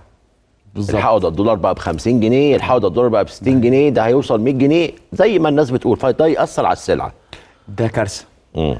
النهارده أول حاجة بتحيط بأي اقتصاد النهارده الاقتصاد اللبناني كان الأستاذ أحمد كان جابه في كلامه الاقتصاد اللبناني هو انهياره الكامل هو فقد مصداقية العملة تماما. يعني النهارده حضرتك لما تروح لبنان على سبيل المثال أنت بتشتري بتعمل بيسموه بنصرف من السوبر ماركت من الصيدلية من أي حتة. فكرة فقد الثقة في العملة المحلية ده أساس لانهيار الاقتصاد. بمعنى إيه؟ النهارده على سبيل المثال ودي يمكن أنا يعني أنا دي يعني يعني حازت في صدري قوي لما لقيت إن ال- الشعب المصري كله قام وعمل موقف قوي جدا في بشأن المقاطعة في القضية الفلسطينية في حين إن معظم هذا الشعب برضه أو بلاش معظمه 30 40% منه بيضارب على الدولار نفسه. كلهم اشتروا الدولار ومحتفظين بيه ونفسهم الدولار يعلى. الدولار كل ما بيتحرك كل ما بيحصل كارثة أكبر. النهارده على سبيل المثال بتلاقي الناس الرومر والإشاعات بشكل عنيف جدا تستهدف الدولار هيبقى ب 50 هيبقى ب 100 هيبقى ب... هو خلي بالك هو أنت حتى لو معاك دولار معاك يا سيدي 10 15 20 100 في البيت عندك هو كله هيزيد. يعني النهارده بيجي حد يقول لك في الاستثمار أحط فلوسي في إيه؟ أقول له ال- الدولار والذهب مش استثمار هو اسمه مخزن قيمة. يعني النهارده لو بتحط فلوسك في دولار أو ذهب انت مجرد بتحافظ على قيمتها ولكنك ما بتعملش عائد عليها. فالنهارده صح. لما بيحصل النهارده اخش واقعد أقول الدولار هيبقى ب 50 ويبقى ب 60 والنهارده اشاعات غير. مصدر الاشاعة ده مين؟ المحتكر؟ المستثمر. المضارب. المضارب. طبعا المضارب السوق السوداء بشكل آه. كبير جدا آه. ده رقم واحد. طب النهارده الأزمة النهارده المضارب بيعمل ده آه. بقية الناس اللي كلها المستفادة من هذه الإشاعة. آه. النهارده حضرتك لو معاك 10000 دولار في البيت كان كنت جايبهم ب 18 والنهاردة هيقول لك ده هيبقوا ب 50 طب هكسب. كسبت كام زيادة؟ بس في المقابل زاد كل أسعار السلع. طب النهارده الناس تقول لي هو إحنا نفس الناس بنفس كل المتغيرات؟ بروح النهارده السوبر ماركت مش بتكلم سوبر ماركت صغير بتكلم على ال hyper اللي هو آه، عنده. تخفيضات ماشي. بتروح مش قصدي الاسم أنا قصدي يعني لا، أنا فاهم، الكبيرة hyper مش- مش اسم لا، منتج. عشان- آه. hyper ده بتلاقي. الحاجة أسبوع بقيمة الأسبوع اللي بعده بقيمة ثانية يقول لك إيه اللي حصل؟ جد. فالجد إيه؟ إشاعات كل الناس بتسهر على السوق السوداء مع الأسف. مظبوط. فبتلاقي السلع ونفس السلع عنده متخزنه عنده في مخازنه موجوده عنده. فالنهاردة أنت بتعاني من إشاعة بتدمر لك عملية ال consume أو الاستهلاك جوه السوق بتاعك مظبوط. صح. بجانب إن هي بتضعف من قوة اقتصادك بشكل كبير. طيب أستاذ أحمد أرجع لك. إحنا خلاص ماشي. إحنا وضحنا أغلب النقاط. خليني أسألك سؤال يعني بحيث إن إحنا في الحلقة نقول للناس حاجة برضو كويسة للمستثمرين للمستوردين. إيه المشاكل دلوقتي اللي بتواجهنا ولازم نحلها بالشكل اللي شكله يكون عامل إزاي عشان أقدر أنا في النهاية أوصل إن ال- المستثمر المصري يبقى برضو مرتاح؟ أنا بس على على موضوع الدولار لأن هو ده موضوع مهم جدا. اتفضل، ماشي. هو سبب كل الأزمات اللي إحنا بنعاني فيها. تمام. وأنا كنت قلت في الأول إن إحنا أساسا ما عندناش أزمة دولار. دي أزمة مصطنعة للمضاربين ولكبار الشركات اللي بتطلع الدولار بطرق غير رسمية. لأن إحنا لو حسبنا الع- العوائد بتاعة الدولار لمصر أكتر بكتير من احتياجاتنا بتوصل ل 30 مليار دولار في زيادة. الناتج القومي في نسبة التشغيل البضاعة المستوردة فيه بتتكلم في حوالي 200 مليار دولار. هو السؤال الدولار ده بيروح فين؟ وده سؤال برضو يمكن أنا طرحت قبل كده مش مبادرة إن أنا قلت إن إحنا عايزين نلغي موضوع التعامل بالدولار مع كل الدول الشريكة لنا في الموازين التجارية. يعني إحنا لو لو قلنا حجم التبادل التجاري بيعدي 110 مليار دولار صادرات واردات 110 120 مليار دولار. إحنا محتاجين الدولار في تعاملاتنا مع الدول اللي هي بتتعامل بالدولار. أمريكا مثلا بتتكلم في 6 7 مليار دولار. كل العملات الأخرى التانية دي وهي مع كيانات اقتصادية كبيرة زي تمام. الصين انت بتتكلم في 17 18 مليار. بتتكلم في تركيا 10 مليار دولار. المجموعة الخليج 20 مليار دولار. الأوروبا 20 طب مليار هتلغي دولار. الدولار تتعمل بإيه؟ مش عايزه أنا اتعامل بالعملات المحلية تمام. بتاعت الدول آه. أنا النهارده مثلا في السعودية مش في ريال مظبوط المصريين بيقبضوا ريال يروحوا يحولوه دولار ويجيبوه هنا مصر آه. ولما بيجي هنا مصر إحنا بناخده ونحوله عشان نجيبه بالجنيه المصري تمام. طب ما تديني ريال والريال ده أنا أستفيد من مثلا للمصريين اللي بيطلعوا يعملوا يعني. أتعامل مع كل دولة بالعملة بتا- بتاعتها نخرج. بقى من عباءة الدولار لأن أنا بقول لحضرتك وب- وبقر لك هنا وبالحسابات آه. الدولار في زيادة غير طبيعية في سعره تمام. بسبب المضاربات والإتجار في في الدولار آه. الدولار على حساباتنا إحنا بالنسبة لمقارناتنا مع دول بنتعامل مع آه. بعملاتهم ما يزيدش عن 10 جنيه طب برضه هل الدولار زي ما الدكتور محمد كان بيقول إن برضه تخزينه برضه ده بيأثر. الناس الناس بتكسب. ده آه، ده مكسبه أكتر من المخدرات آه. النهارده تسمع من 30 32 آخر النهار 34 ثالث يوم مش عارف بحاجة و40 فالناس كلها بتتاجر في الدولار بتجمد وبيبيعوا ذهبهم وبيبيعوا طب اراضيهم هو قيمته الحقيقية 10 جنيه فعلا؟ أقل من 10 جنيه.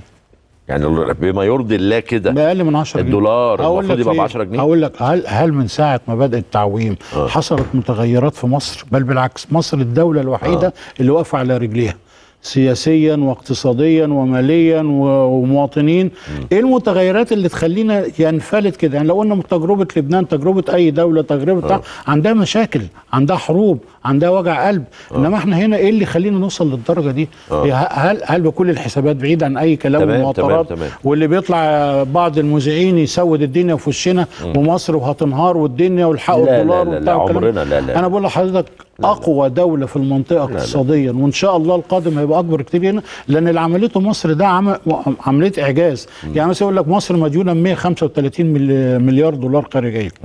طب الاستثمارات اللي اتحطت في في في مصر في الفترة اللي فاتت تساوي كام؟ هتساوي 300 مليار دولار. اللي مش عارف يقول لك العاصمة ومش العاصمة دي. أنا لما بروج لاستثماراتي بقول ده إحنا عندنا دلوقتي قانون استثمار كويس قوي. عندنا طرق عندنا خدمات عندنا بنية تحتية تعالوا تعالوا. عندنا استقرار أمني. الحمد لله اللي مش موجود في أي حتة. مصر بكل الحسابات هي أنجح دولة في المنطقة. تيجي نقول ليه بقى الدولار؟ زي ما تقول حضرتك كده، أنا معايا 100 دولار نطلع على النت نقول لك الدولار النهارده بقى ب 40 جنيه طب أنت قيمته على أي أساس؟ أول تعويم لما حصل كان الدولار ب 8 جنيه من أو أيام آه، اسمه إيه ده؟ محافظ البنك المركزي. لا لا قبليه اسمه طارق أبيل. آه.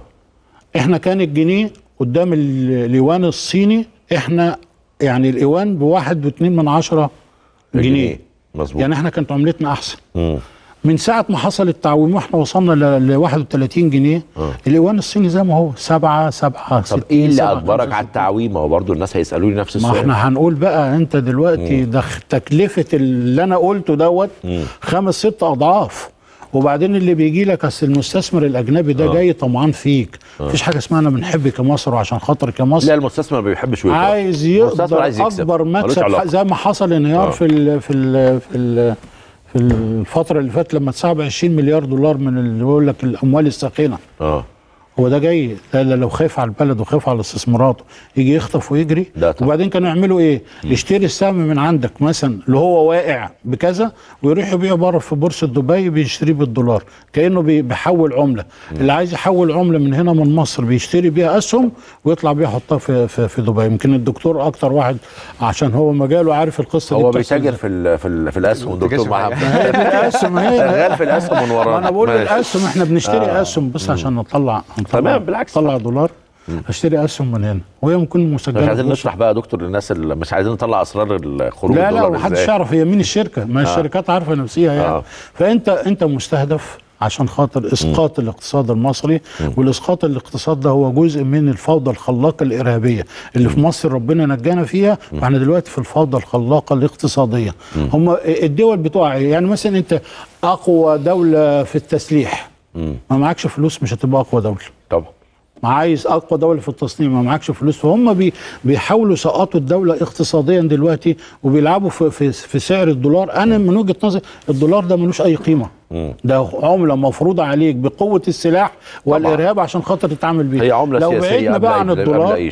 والدكتور يشوف يأيدني بعد ما عشان أنا ما يقولش إن أنا بعرف لا بالعكس أنا مش عايز اؤيدك لو بعدنا عن الدولار. لو. بعدنا عن الدولار الدولار ده هيوصل كام؟ يعني إحنا 90 مليار دولار هنتعامل بيهم بالعملات ال- ال- ال- هيبقى ب 10 جنيه. مثلا زي ما. بتقول اللي هو الرقم العادل هتلاقي. الأسعار نزلت النص طب أكتر من نص ده آه، أكتر من نص أنا بقول تقريباً. الاسعار تنزل أنت. عارف لو بدأنا وفي بدأنا مع روسيا على فكرة مع ما هو البريكس هيبدأ يشتغل ممكن يمشي بالشكل اللي يا أنت بتقوله فندم مش محتاجين البريكس إحنا اتفاقات ثنائية أي. قانون التجارة اللي أنا كنت وموجود ساعتها ساعد في البرلمان من حق أي دولة تعمل اتفاق معاك أنا ممكن أقول لحضرتك أنت اديني الموبايل ده وأنا هديك ال mug ده آه.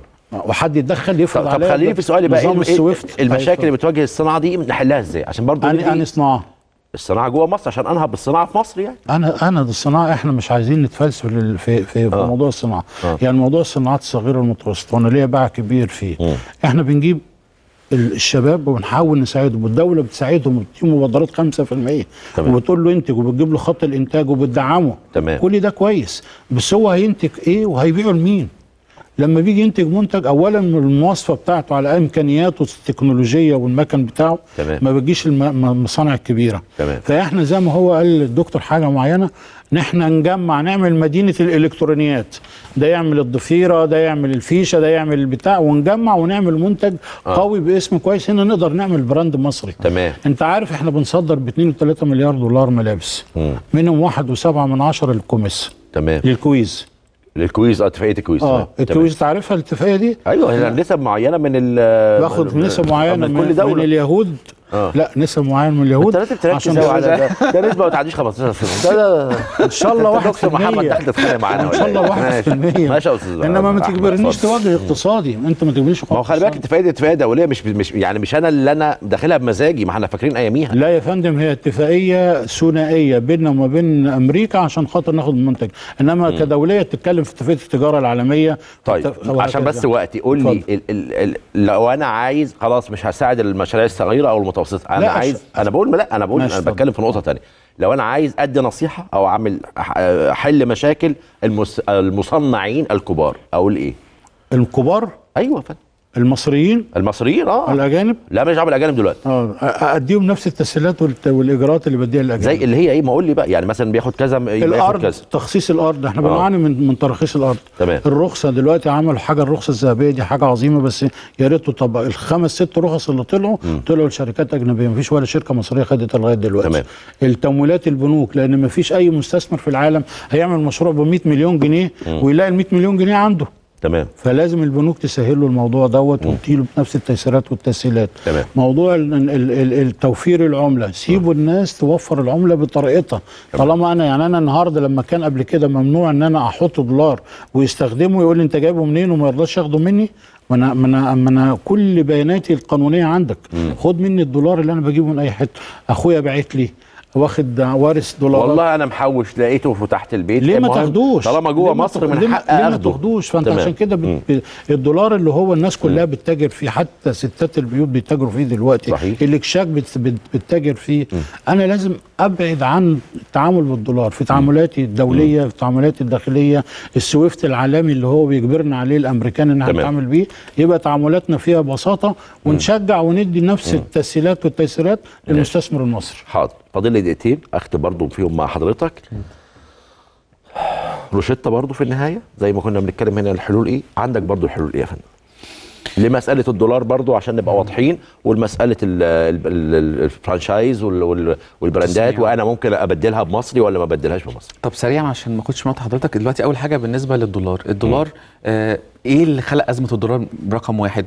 هل السوق المصري ما فيهوش دولار؟ لا في دولار في إحصائيات بتقول إن معديين 90 مليار في السوق المصري مش مع الدولة. تمام. لدرجة إن في احدى يعني اللقاءات المباشرة على الهواء اتقال إن الحكومة نزلت دبرت من السوق. تمام. فمعنى كده إن ال- الناس كلها معاها دولار وبتضرب بيه ودي كانت أول أزمة في يعني من أسباب انهيار الاقتصاد اللبناني. الثانية هو إيه اللي حصل؟ إيه اللي إيه الازمه الأزمة واحد إن إحنا خلينا من الاشاعات ومضاربة المواطنين في الدولار عملت افتقاد ثقة في, في منظومة التسعير للدولار قدام الجنيه. فالنهاردة لأول مرة تحويلات المصريين في الخارج في أدنى مستوى ليها. ليه؟ ليه أخويا وابني وصديقي ووالدي اللي موجودين بره مصر ما بيحولش. هل هو وحش؟ لا مش وحش. طبعا. بس هو النهارده أنا ليه أحول الدولار وأنا مش واثق في المنظومة؟ أعمله ب 30 ما أنا ممكن أعمله بأكتر من كده. تمام. تعرف حضرتك إن في السعودية وفي الإمارات في بعض الناس المتخصصين يروح ياخد منك العملة الأجنبية. أنت مصري شغال في الإمارات أو شغال في السعودية. تمام. بياخد منك العملة الأجنبية هناك وحد يجي لأهلك يديهوله من المصري هنا بالعملة بتاع السوق السوداء. ده ليه؟ هو بيمنع الاقتصاد المصري إنه ياخد دولار. دولار مظبوط. طب نرجع للنقطة المهمة. هو إيه اللي حصل؟ هو الدولار فير دلوقتي بكام؟ هل هو بالأرقام اللي شايفينها؟ لا لا لا أنا معترض خالص على هذه الأرقام. تماما شايف إنه عبث. طب إيه سبب الأزمة؟ الدولار كان ب 18 ونص. حصل إن إحنا حصل علينا ضغوط إن إحنا نحرك الدولار. تمام. فكرة إن أنا آخد قرار بتعويم سعر الدولار الرسمي في البنك المركزي بدون ما يكون عندي رصيد يواجه الالتزامات اللي عليا دي كارثة. مم. كان عليا اعتمادات مفتوحة في في المواني رهيبة. مم. طلبات في البنوك رهيبة. فعملت إيه؟ حركت من 18 ل 22 ل 24 وأنا ما عنديش دولار. فاللي حاصل إيه؟ اوريدي أنا بغير سعر وفي نفس الوقت ما عنديش دولار. فاللي هيروح البنك حتى لو الدولار ب 18 بقى 2 مش موجود. مم. طب بقى 25 مش موجود. ساعة 18 كان الدولار فرقه على السوق السوداء 2 جنيه بس.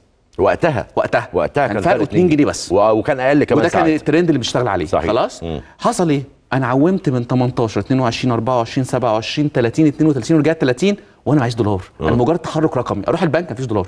آه. الكارثة طول ما أنا احرك سعر الدولار كده بقول لك العبث. آه. لو حتى اتخذ قرار على مستوى السياسة النقدية بتحريك عشان نستجيب لكلام صندوق النقد الدولي بتحريك الدولار آه. من اللي 30 يوصل للمستوى دلوقتي الفرق بسبب المضاربة وصل ل 7 جنيه. آه.